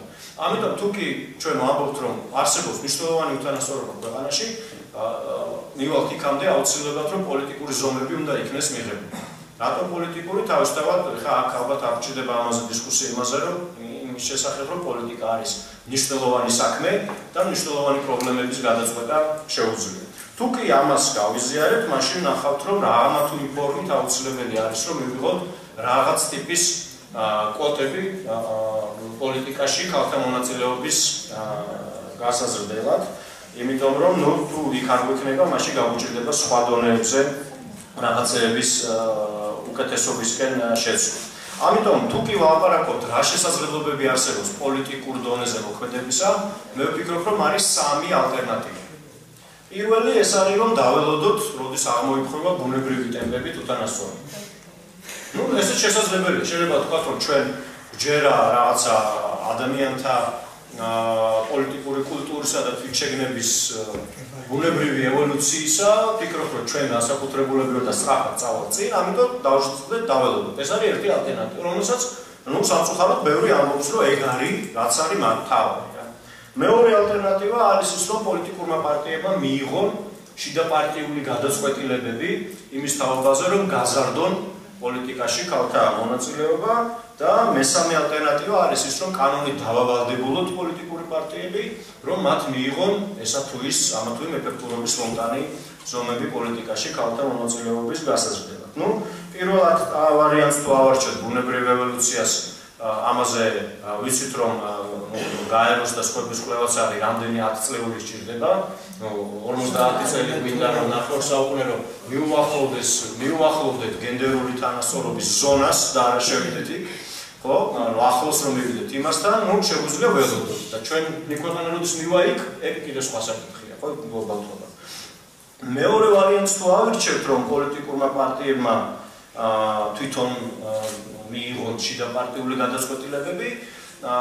ეს უფრო ესეთი ვარიანტია, რომელიც შესაძლოა პრაქტიკულად შესაძლებელი აღმოჩნდეს, ოღონდ ზოგიერთი პარტიის იმედი მაქვს, რომ რაღაცას გააკეთებს, მათ შორის ორივე აქ არის და შეიძლება სხვებიც, მაგრამ ზოგადად ვარ скеპტიკურად განწყობილი იმის მიმართ, რომ პარტიები მაგალითად 2016 წელს მოახერხებენ გააკეთონ ის, რაც ვერ მოახერხეს 1990 წლიდან დღემდე.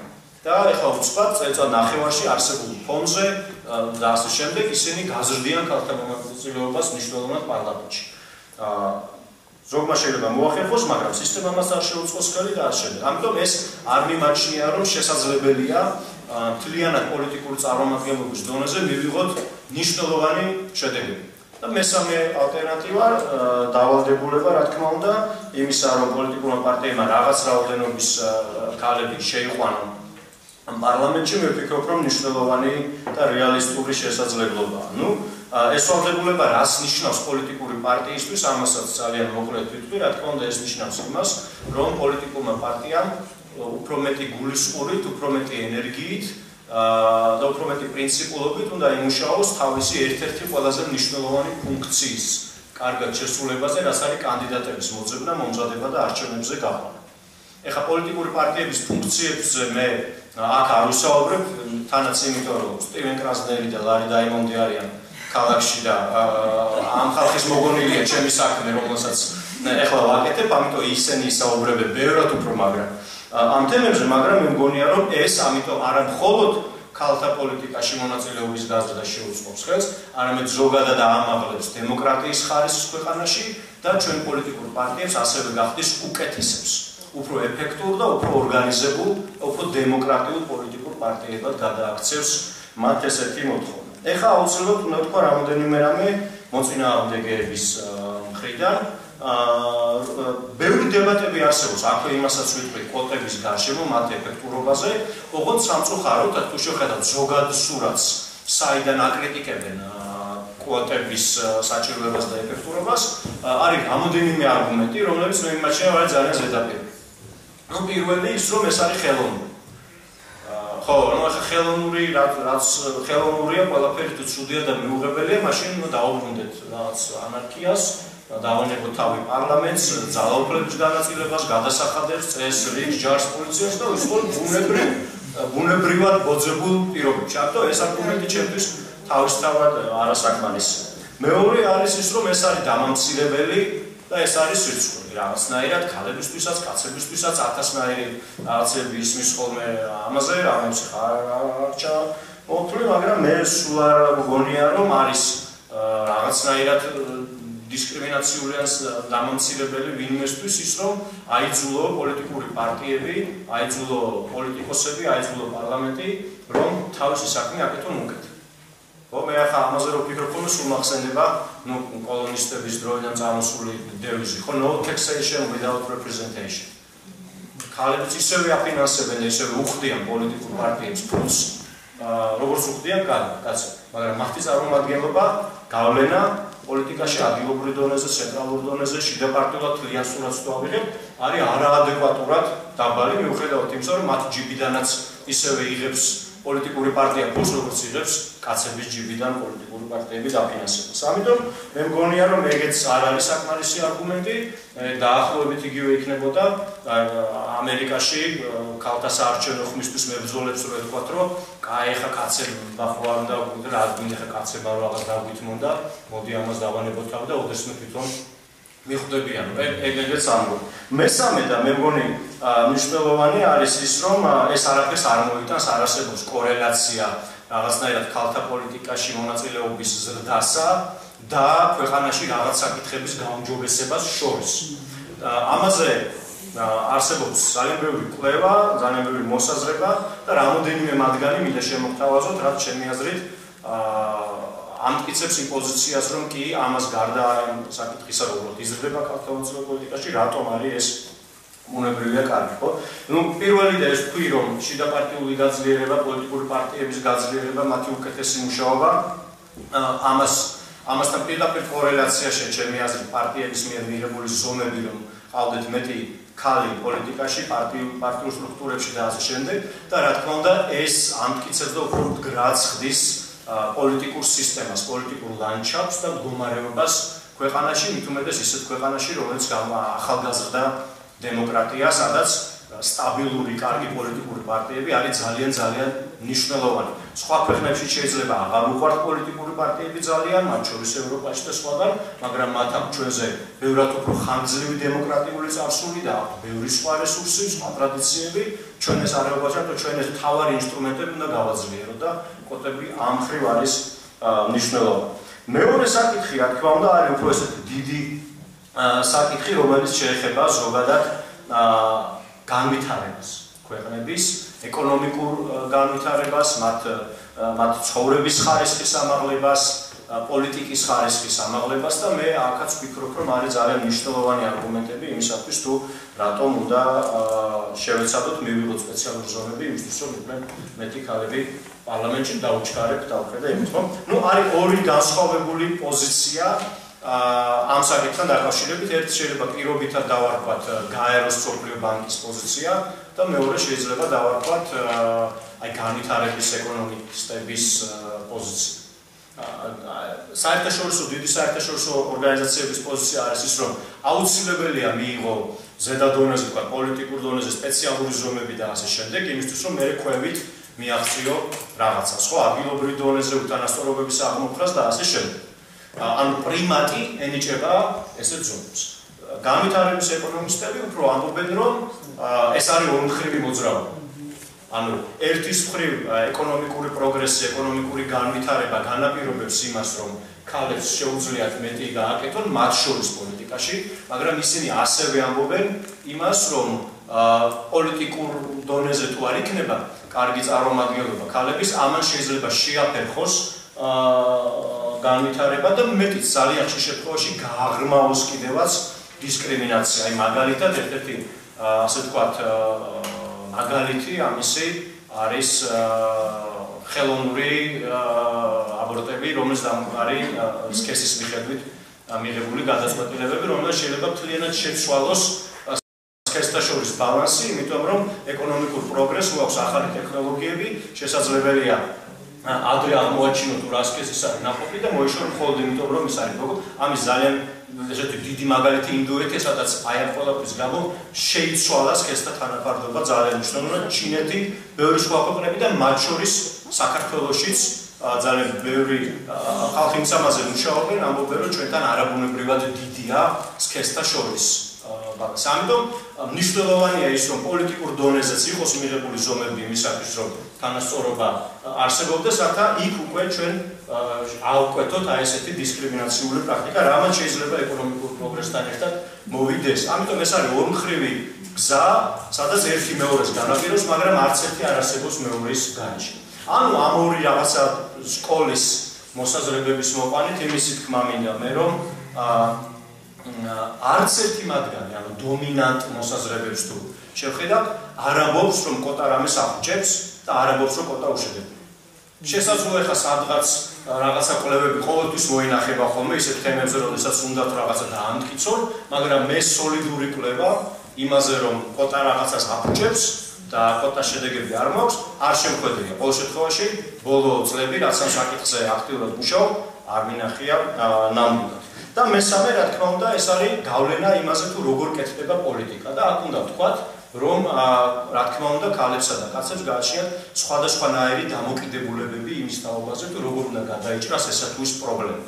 და სწორედ აქ მივდივართ ისევ ამ პრაქტიკული რაღაცებიდან უბრუნდებით ღირებულებით რაღაცებს, შეიძლება აა ყოველთვის რაღაცნაირად მისაღები არ იყოს ხოლმე ამა თუ იმ ჯგუფის მოსაზრება, მაგრამ ის რომ ამა თუ იმ პრობლემის განხილვას ყველა ჯგუფის მოსაზრება უნდა იყოს გათვალისწინებული, არის მე ვფიქრობ ძალიან ცხადი და ძალიან ნათელი ბევრი ექსპერიმენტია ამაზე ჩატარებული იმ ქვეყნებში, რომლებიც სხვადასხვა მაგალითად მუნიციპალურ დონეზე იყენებდნენ პოტირებას, რომ მუნიციპალიტეტში არ იყენებდნენ და ასე შემდეგ და დადგენილია, რა თქმა უნდა, ძალიან ნათელი კავშირი იმაზე, რომ არსებობს ძალიან მნიშვნელოვანი ვარიაციები თუ როგორ იღებს გადაწყვეტილებებს ესა თუ ის ორგანო, მაშინ შესაძაც იქ მონაწილეობს ხალი, მაშინ შესაძაც იქ არ მონაწილეობს ხალი. მე არ მომხრეს ხოლმე იქნება კარგი და დადებითი შეიძლება მიიღონ ესეთი გადაწყვეტილებები ძალიან რომელიც ვიღაცას არ მოეწონება და ასე შემდეგ, მაგრამ სამართლიანობა და ასევე პოლიტიკის ხარისხი მოერთხობს იმას, რომ ეს ორი დიდი ჯგუფი რა თქმა უნდა იყოს ამ საქმეში ჩართული. და ბოლოს და ამით დავასრულებ დიდი ბოდიში ერთი წუთი დამჭირდება არის მიუღებლობის საკითხი და რისკები დაკავშირებული კოტების მიღებასთან აქ იქნა ნახსენები სტიგმატიზაციის საკითხი საკითხი რომ ვიღაცებს დაერქმევათ კოტების შემოსული და ამ შემდეგ რა თქმა უნდა ეს რისკები არსებობს ეს რისკები რომ გამოვრიცხოთ ეს საკითხი უნდა გახდეს ზეპარტიული საკითხი და არი კიდევაც ზეპარტიული საკითხი ეს არ არის მემარჯვენეების ან მემარცხენეების იდეა.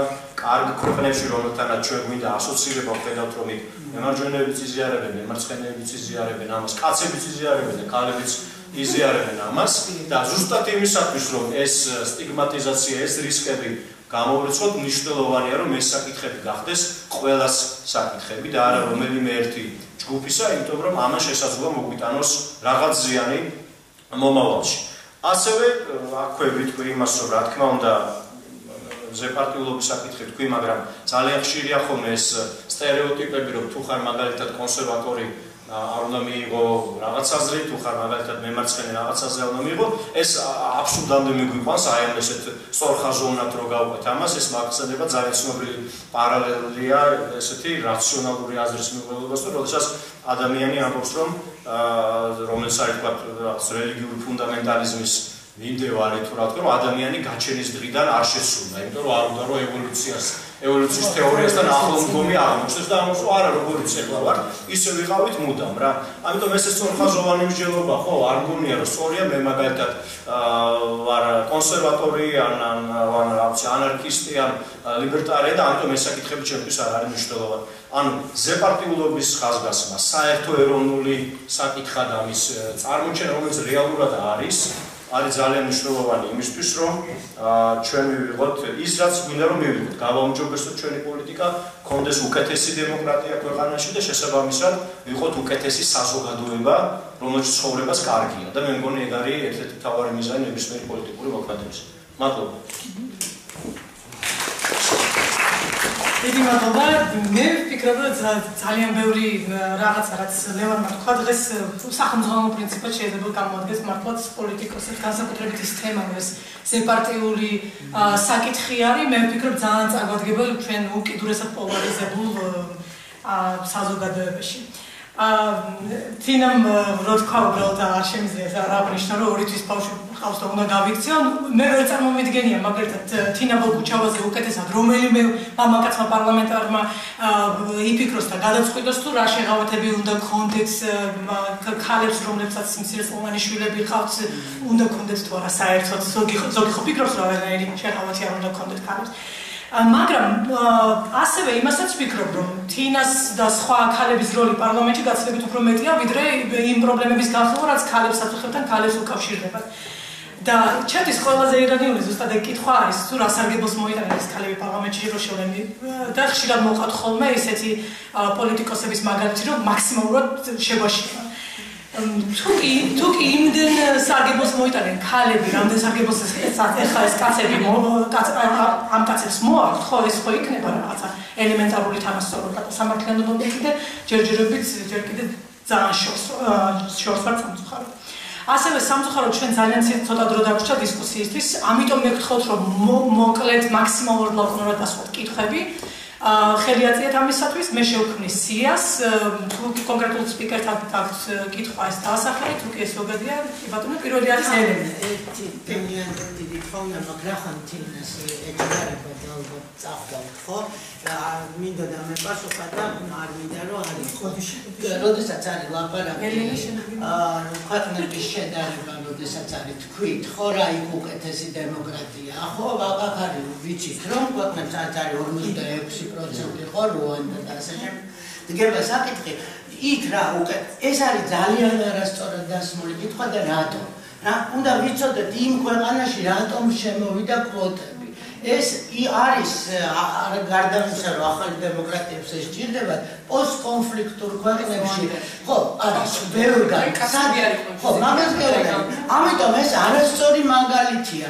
და გარდა მაგისა 13 ბაგაეროს რეზოლუცია 1325 სწორედ ასევე იმიტომ ლაპარაკობს მისი სამოქმედებებმა ამაზე რომ peace building-ში პოსტკონფლიქტურ ქვეყნებში ძალიან მნიშვნელოვნად დგება ასევე ქალთა წარმოადგენა. უბრალოდ მე კიდე ბევრი რაღაც თქვა და ვერ მოვასწარი და ამიტომ ეს არ არის აი ესეთი საქილიკო თქვენზე არ ვამბობ ზოგადად ბევრის გამსმენია რომ რა ის გინდა სადღაც აი აფრიკაში რომ ესეა და იქ სადღაც ესეა და სამხრეთ აფრიკას და ასეთი მაგალითები მოხდა მაგრამ იქ იყო ეს ზომა აუცილებელი იცის არა ძალიან ქვეყნებია კარგი, ნანდი მაგობა ელენეს. დიახ, პირველ რიგში მინდა აღვნიშნო, რომ ძალიან საინტერესო მოხსენებები ქონდათ და სიამოვნებით მოусმინე ყველა თქვენთაგანს. თუმცა კითხვა მაქვს თიკოსთან მაქვს ძირითადად კომუნიკაცია და მაინც მე გულით მგონია სუბიექტური აზრია, რომ მის მოხსენებაში ასახული, ასე ვთქვათ, პოზიცია არ ეხება მას პირადად, უფრო პარტიული ზეგავლენა, იმიტომ რომ მისი ბექგრაუნდი კარგად ვიცით. ანუ პირველი მინდა ფრაზას გამოვეხმაურო მოძრაობა კონკრეტულ პროცენტებზეა კონცენტრირებული ეს მაღიზიანებსო რაც თქვენ ახსენეთ. პირველ რიგში მინდა ვთქვა რომ თვითონ ქალთა მოძრაობა როდესაც აჟღერებს კანონ პროექტს რაზეც ჩვენ საუბრობთ ეს არის task force ჯგუფის მიერ შემუშავებული სადაც სხვადასხვა ორგანიზაციები არიან გაწევრიანებული ნანამის კარგად აღნიშნა. და რასაკვირველია ჩვენ ძალიან შორს ვართ იმ იდეისგან რომ მხოლოდ ასე ვთქვათ კვოტები მოიტანს.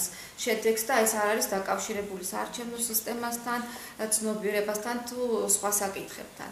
გარდა ამისა, ძალიან კარგად არის შესწავლილი კანონმდებლობა, წინა გამოცდილება და ქალბატონო რუსთანმა ყველაზე კარგად იცის, რომ 2008 წელს უკვე იყო კვოტებზე კანონპროექტი, რომელიც სამწუხაროდ არ განხილვა.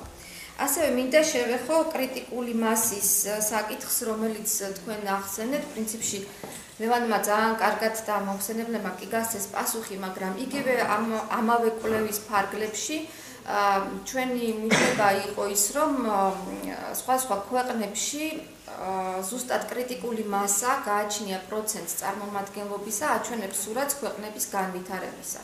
ესე იგი, იმ შემთხვევაში, თუ კრიტიკული მასა შეადგენს პარლამენტებში 20%-ს, იცვლება უბრალოდ პარლამენტარები, ანუ ქალები, კაცები აყენებენ საკითხს, თითქოს ქალები, რომელიც ბავშვთა უფლებებზე არის ორიენტირებული. იმ შემთხვევაში, როდესაც 30%-ია წარმომადგენლობა ქალების, მიდის საუბარი უკვე ქალთა უფლებებზე და ქალთა ინტერესების დაცვაზე და 40 და მეტი პროცენტზე, როგორც ლევანი შეეხო, ეს უკვე ეხება ქვეყნების დგრად განვითარებას.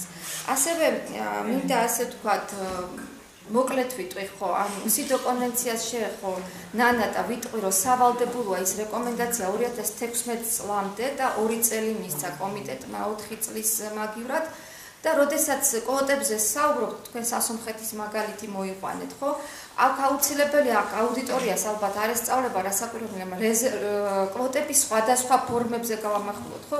ყურადღება. ანუ ჩვენ არ ვსაუბრობთ ამ შემთხვევაში რეზერვირებულ კვოტებზე რომელიც მაგალითად ევროპის ქვეყნებისთვის საერთოდ არ არის მიღებული და მოსახერხებელი. ეს მინდოდა აღნიშნა დიდი მადლობა. დიდი მადლობა ელენე. ელენე რუსიცკაია არის ქალთა საინფორმაციო ცენტრის ხელმძღვანელი და დიდი ბოდიში უფრო მეტი დრო ზუსტად ამიტომ და უთქვით გთხოვთ თამარი არის ეს ახალი მემარჯვენე ახალი მემარჯვენეების აღმართება ხო? კი. ახალი მემარჯვენეების აღმართება თაკო კაკაბაძე. აა ქალბატონ თინასთან მექნება ერთი კითხვა შენიშნა თქვენ ახსენეთ თავისუფალი კენჭისყრა საქართველოს პარლამენტში.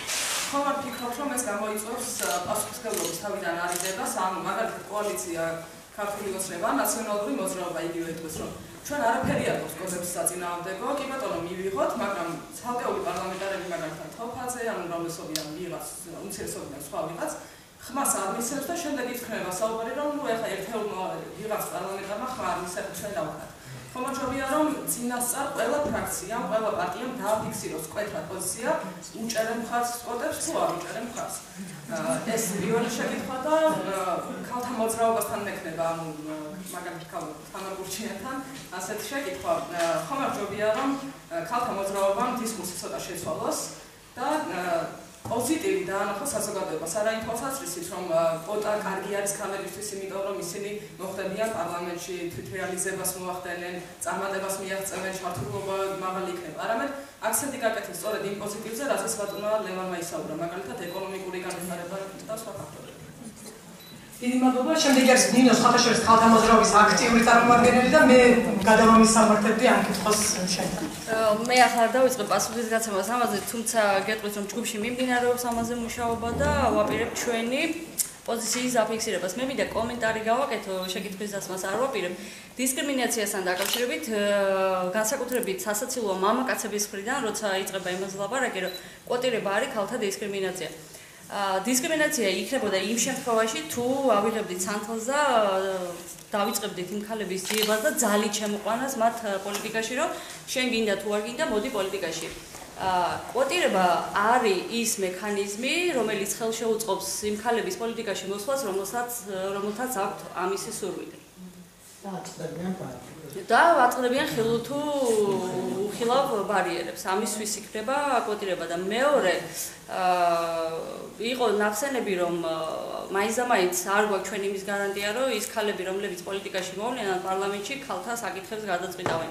აა გარკვეულწილად ლევან მაგას ამას პასუხი რომ არ არსებობს ქვეყანაში მარტო ქალთა საკითხები. არსებობს უამრავი პრობლემა და ორივე მხარემ ანუ ორივე წარმომადგენელმა ქალმა და კაცმა ერთად უნდა გადაწყვიტოს პრობლემები.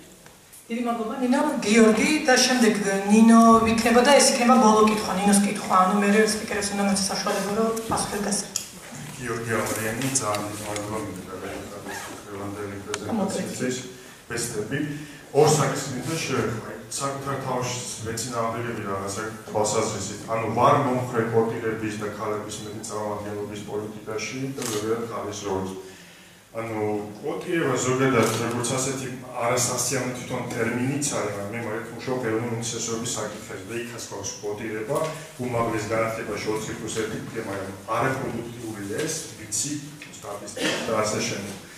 და ზოგადად კვოტირება როგორც ასეთი წარმომიდგენია, რომ იქნება უშედეგო და ცოტა სხვა მიმართულებით უნდა წავიდეთ და არა მარტო კვოტირება.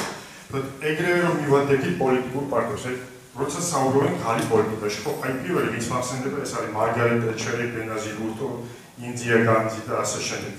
მარგარეტ ტეჩერი ამბობდა ასე რაღაცას, რომ вот иду может красиво кукарекать, но яйца несет курица. Да и политика с миватебаши, Маргарет Тэтчер ამბობდა, რომ я не женщина, я премьер-министр. ანუ ქალი უნდა იყოს თქვა პოლიტიკაში ჩემისად ხოლმე იმიტომ რომ ის არის პროფესიონალი რაღაცა ახალი ინოვაციის ანუ რაღაცა ახალი შემოტანი უნდა იყოს თქვა და მე მინდა შემოთავაზოს ასეთ რაღაცა ხომ არ ჯობია სანამ პოლიტიკაში ხალი პოლიტიკაში მივადგე ზოგადად შექმნა კონცეფცია სამოქმედო გეგმა ზელვაგიანი ხუთლიანი ათლიანი რომ რომელიც თუნდაც პარალელური იყოს რომელიც ხალის პრობლემებს განიხილავს არა მარტო პოლიტიკაში არამედ გლობალურად თქვა იგივე თანასწორობის აქში იგივე განათლება იგივე ჯანდაცვა ასე შემდეგ და ასე შემდეგ და ასე შემდეგ. გერმანიაში იცით ყველა რომ არსებობს სპეციალური სამინისტრო რომელიც მასშტაბით ხალი ერთ მიმართულება ამაზე მუშაობდა. ნუ მივაზრებ თქვა ქალბატონების ხედან ეხლა არ ხო? თქვენ აი ორივე თქვა წარმატებული ქალები რატომ ხარ პოლიტიკაში? იმიტომ რომ ხარ ქალები თუ იმიტომ რომ ხარ თქვა პროფესიონალი თქვენ საქმეში და თქვა რაღაცა თქვენი წვლილი და თქვენი ისე. დიდი მადლობა, დიდი მადლობა ნინო ფუტბოლიკას.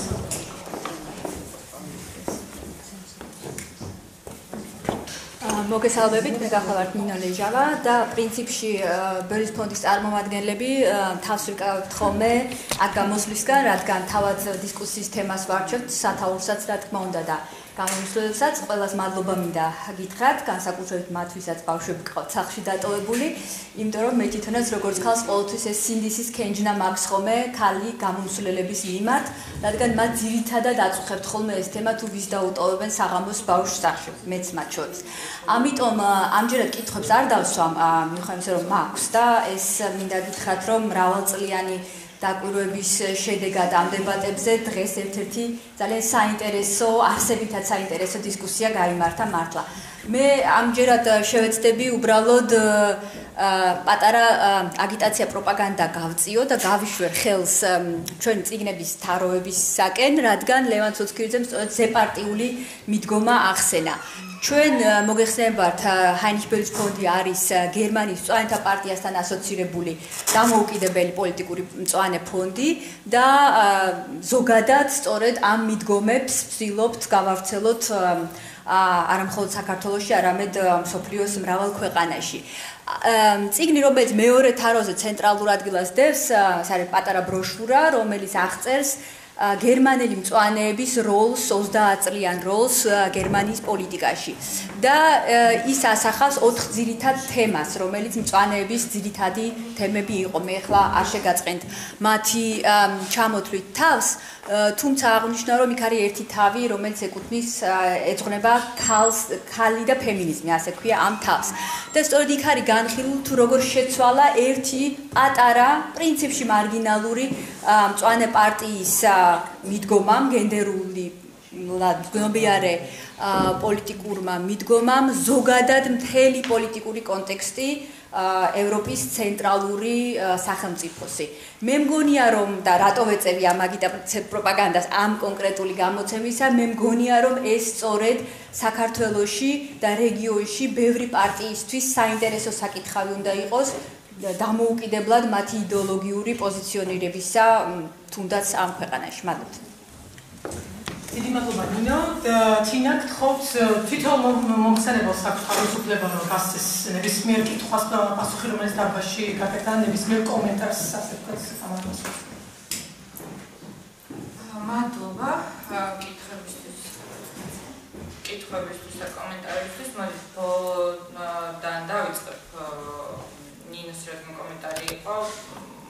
გიორგის მინდა გამოვახმაურო ანუ რატომ არ შეგვიძლია ვთქვათ კონდეს კონცეფცია და კონდეს გლობალური მიდგომა ასე შემდეგ. ასე შემდეგ მე ვეცადე რომ ჩემს პატარა მოხსენებაში რაღაცნაირად სწორედ ამის ადვოკატირება მომეხდინა რომ უფრო გლობალურად მე შევხედოთ ამ თემას და ის ის ის რასაც ჩვენ ვებრძვით ანუ ეს უთანასწორობა მისი ფესვები ასე ვთქვათ არის ფეროთ პროგრამა ვიდრე პარლამენტი და პარლამენტის ტრიბუნა და ამიტომ არის მე მგონი რომ ის სკეპტიკოსები რომლებიც აფიქსირებენ თავიანთ აზრს და მე შემოგთავაზებ ჩემი გარკვეული სკეპტიკური ხედვები კოტებთან მიმართებაში ხანდახან თვლით რომ ამას შეიძლება ვერ აღმოფხვრას პრობლემა იმიტომ რომ სანამ გვეყოლებიან ის პოლიტიკოსები რომლებიც მიზეს შედეგობრივი მართალია თამამად თქვა რომ ეს ყველაზე ყველაზე საშიშებს და მოსენებთ მაგრამ სამწუხაროდ ჩვენი რეალობის ნაწილი ნაწილი არიან ეს ესეთი პოლიტიკოსები რომლებიც მიზეს შედეგობრივ რაღაც პროცესებს ეძებენ ქალთა ძალადობის თემაში, როდესაც ამბობენ რომ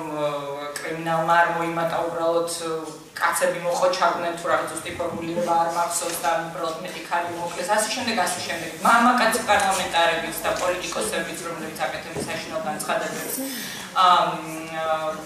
ანუ რეალურად სანამ ასეთი რიტორიკა საერთოდ იარსებებს პოლიტიკაში სანამ იქნებიან მამები და ქმრები და ძმები რომელთათვის არის სამარცხვინო რომ რომ მათი ქალიშვილი იყოს პოლიტიკოსი იქნება ადგილობრივ დონეზე თუ თუ პარლამენტის დონეზე რაც ამ კვოტები შემოვიღოთ.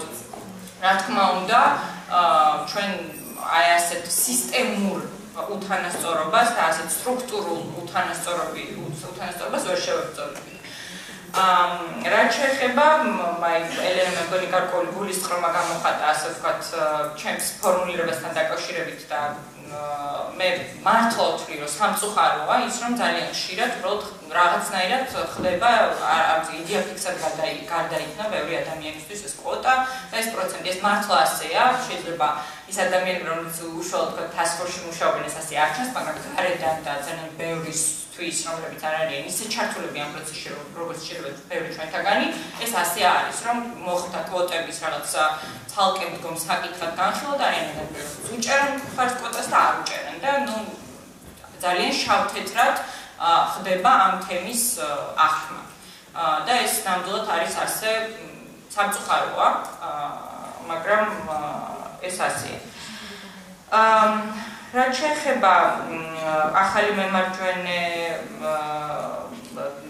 ჰამასის კონცერტელი თამარის კითხვას შეგვიძლია თორე წინასწარ განცხადება გავაკეთოთ.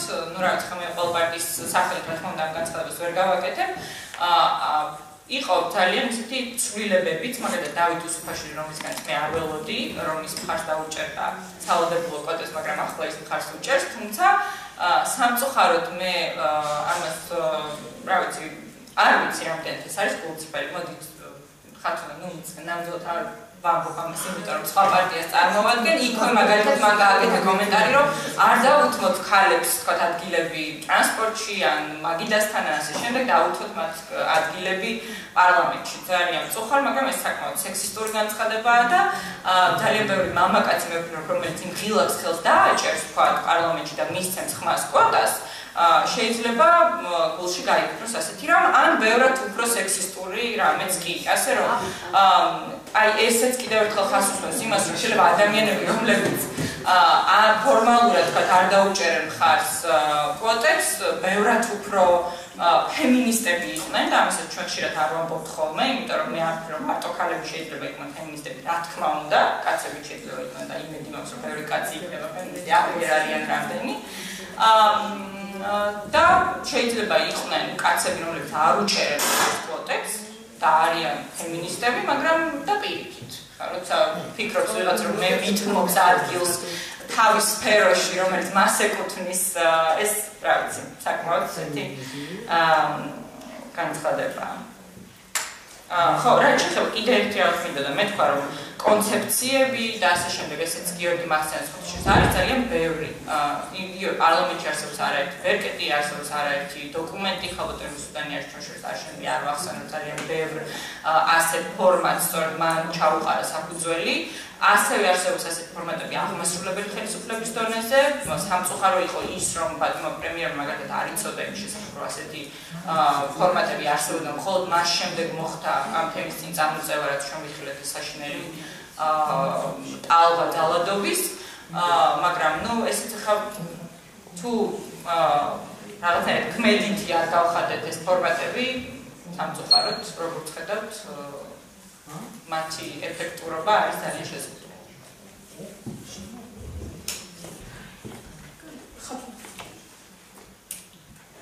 ხდები ძალიან მოკლედ, ბევრი საინტერესო შეკითხვა დაისვანა, ნაწილობრივ პასუხებით გაეცა. ბოლო ნაწილი დავიწყებ დათოს გამოსვით, დათოს ფაშვილის პოზიციით. შეიძლება აღჯეროთ რომ უცხოია ეს პირადად თქვენი მოსაზრება დამოკიდებულება. მაგრამ მე მგონია რომ ამ მოძრაობაში, რასაც ქალთა მოძრაობა ქვია და ბევრი დრო გჭირდება რომ უფრო გაძლიერდეს და მე არ მგონია რომ ეს პროცესი იყოს ერთი მომლექსა შედეგის მისაღწევად, ეს არის ძალიან ხანგრძლივი პროცესი და ყველა იმ უფლებისთვის ბრძოლა რაც აქამდე ჩვენს წინაპრებს სხვა ქალებს გამოუვლიათ ძალიან ხანგრძლივი და მძიმე იყო. ამიტომ მე არ მგონია რომ პოტიპისთვის ბრძოლა მოკლე გზა იქნება, თუმცა დარწმუნებული ვარ რომ უკვე ამ პარლამენტში ეს ხდება დისკუსიის საგანი. რამდენად მივიღებთ ხარდაჭერას ან არა, ამას გვაჩვენებს რა თქმა უნდა ვითარება. რაც შეეხება უსპალავის უსპაშვილის გამოსვლას, რატომ რომ ამას ხაზი გავუსვა? ჩვენ თუ ყველა ჩვენს მხარდამჭერთან მოკავშირეს, მე ასე უყურებ ამას. მოვთხოვეთ ექსპერტობა ამ საკითხში. მე მგონი რომ ჩვენ მოკავშირეებს დავგარბოთ. მე არც ექსპერტი ვარ გენდერის და არც სპეციალისტი ვარ ამ თემის.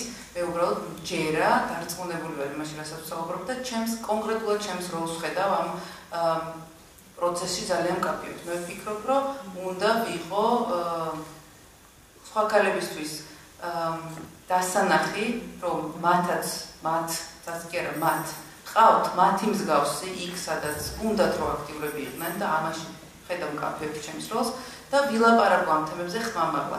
ჩემს ირგვლივ პარტიის წევრებში პირველ რიგში იმიტომ რომ ეს არის ჩემი პირველი მოკავშირე სადაც მიჭირდება მხარდამჭერა და ყველა იმ ჯგუფში სადაც მე ურთიერთობა მაქვს. ანუ ძალიან მნიშვნელოვანია თუ ადამიანი ამბობს აი დათოს იმიტომ რომ მეც ბევრჯერ მომისმენი ხო ესეთ პრობლემები დავუთმოთ ეს არის რომ ჩვენ ვარ დამნაშავე პროცესებში. ჩვენს ესე აუზადეს მამაკაცებს ესე ზდიან ამ საზოგადოებაში და ესე ესეთი ფრაზები ზდიან. სამწუხაროდ ესეა და ამიტომ ჩვენ ყველანი როგორც ქალები, ისე მამაკაცები არიან ამ стереოტიპების მსხვერპლი. ამიტომ მგონია რომ მეტი ქალი პარლამენტში ავტომატურად კი არ მოიტანს იმ თემებს, რომელზეც მინდა რომ ეს ვილაპარაკოთ, რომ ეს იქნება ისე პროცესი, ისე პირველი ნაბიჯი, რომ მეტი ქალი პარლამენტში მოიტანს ნაკლებ სტერეოტიპების ნგრევას. დღეს რაც კი სტიგმატიზაცია ხალხებს რაც სტერეოტიპებია, სწორედ იმიტომ არის, რომ ცოტა ქალია დღეს ამ პროცესში და განსაკუთრებულად ძლიერი ქალები არიან პოლიტიკაში, მაშინ როდესაც ყველა ქალი, ვისაც უნდა რომ პოლიტიკაში მოვიდეს, უნდა იყოს პოლიტიკაში. აქ კითხვა დაისვა, თქვენ რატო ხართ, იმიტომ რომ ქალები ხართ, თუ იმიტომ რომ გინდათ პოლიტიკაში ყოფნა და გესმით ეს საკითხი და მოწადინებული ხართ, რომ წარმატებას მიაღწიოს ამ პროცესში. რა თქმა უნდა, მე იმიტომ არ ვარ პოლიტიკაში, რომ ქალი ვარ. მაგრამ მე ძალიან ბევრ ამაში გამემართლა. ძალიან ბევრ ამაში ორჯერ მეტი ენერგია დავხარჯე, ვიდრე კაცმა, რომელიც იგივე პოზიციაში შეიძლება იყოს. და გაცრებით ნაკლებ ენერგიას ხარჯავს, მაგრამ საკუთარი თავიდან გამომდინარე მე თუ შევხედე ამ პროცესს და ვითარებასაც რა თქმა უნდა, მე ვიტყვი რომ ხო მე კვოტები არ მჭირდება. მე შეიძლება არ მჭირდებოდეს კვოტები, იმიტომ რომ ეს არის თქვა ბალანსში გამოხდა პრივილეგირებული ქალები ვართ ჩვენ ვინც დღეს პოლიტიკაში აქტიურად ვართ. მაგრამ ეს აღნიშნავს რომ სხვა ქალებს ხარდაჭერა არ ჭირდება, იმიტომ მოვიყვანე ეს მაგალითი ყველა პარტიულ კრებაზე სადაც ვესტრებ პირაში ორჯერ თვეში რამდენჯერმე ესეთი შეხვედრები ნათლად ჩანს რომ ქალები რომლებიც არიან აქტიურები, კვალიფიციურები, ბრძოლის უნარიანები ამ ბრძოლაში, რასაც ქვია პოლიტიკური ბრძოლა, მაგრამ ისინი თავს იკავებენ რომ წამოყვან პოზიციებზე წარმოადგინონ საკუთარი თავი და პარტიებიც ვერ ხედავენ ამ ქალებს. იმიტომ რომ როცა კანდიდატებს ვარჩევთ და ვეკითხებით ჩვენს ადგილობრივ ორგანიზაციებს, სადაც მამაკაცები დომინირებენ, აი მე ვადგენ პოლიტიკურ საპარტიო სიას. არჩევნ ესეთი წესდების მიხედვით თავმჯდომარე ადგენს სიას კონსულტაციების გადის ადგილობრივ ორგანიზაციებში.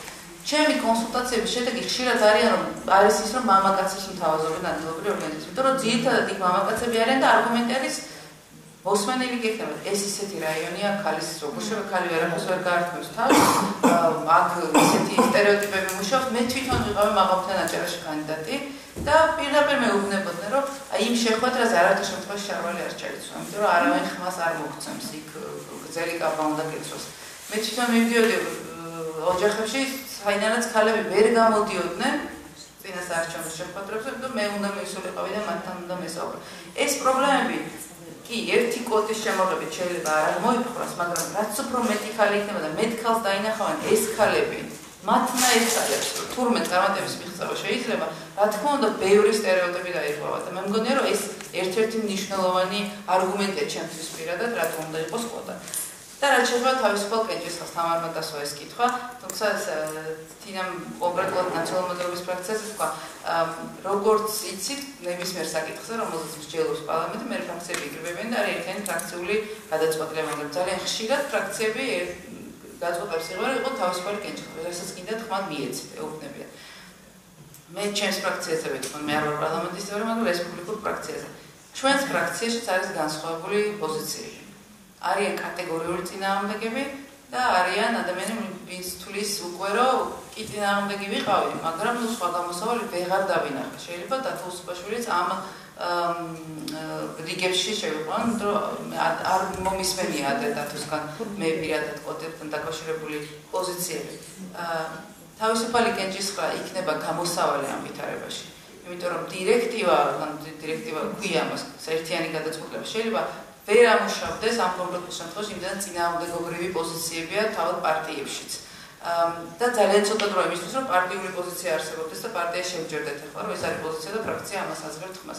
მე ვფიქრობ რომ ჩვენ ამოთ აი მოძრაობა რომელიც ამ task force რომელიც ამ საკითხად მუშაობს თითოეულ დეპუტატს უნდა ხვდებოდეს თითოეულ დეპუტატს უნდა და აი თითო თითოდ უნდა დავთვალოთ ხმები და უნდა ვაჩვენოთ ეს შედეგი ესე, იმიტომ რომ პარტიული, აი ზეპარტიული თუ არის ეს საკითხი და ჩვენთან პარტიის სწორედ ესე ვიხილავთ ამას.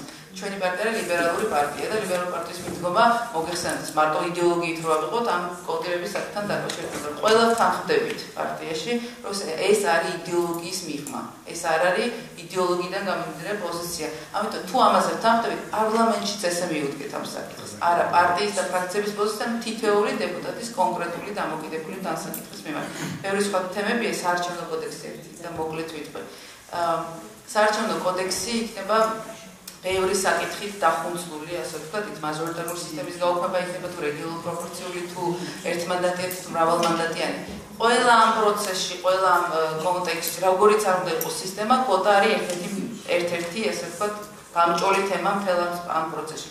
თუ პარტიები ისე და ისე ამაზე მსჯელობის დროს კვოტირებას, ამ კვოტილების ცვლილებას საარჩევნო კოდექსში გამოიყენებენ სავაჭროდ, მე ხმას მოგცემ ფოტოებაზე თქვენ აი რეგიონულ პროპორციული დამიტვეთ ან ასე შემდეგ. ისევ მივიღებთ იმ ქაოსს რასაც ვაპარაკობ ცალკე თემა უნდა იყოს სწორად კოტირება ნებისმიერ სისტემაში უნდა იყოს კოტირება თუ ამაზე ვსჯელობთ პარტიებმაც ისევ არ უნდა დაიწყონ მაჭრობა რომ მე კოტირებაზე ხმას მოგცემ შენ თუ დამიტვებ იმ იმ სისტემას რომელსაც მე გელაპარაკები და ამაზე იყოს სწორად საუბარი.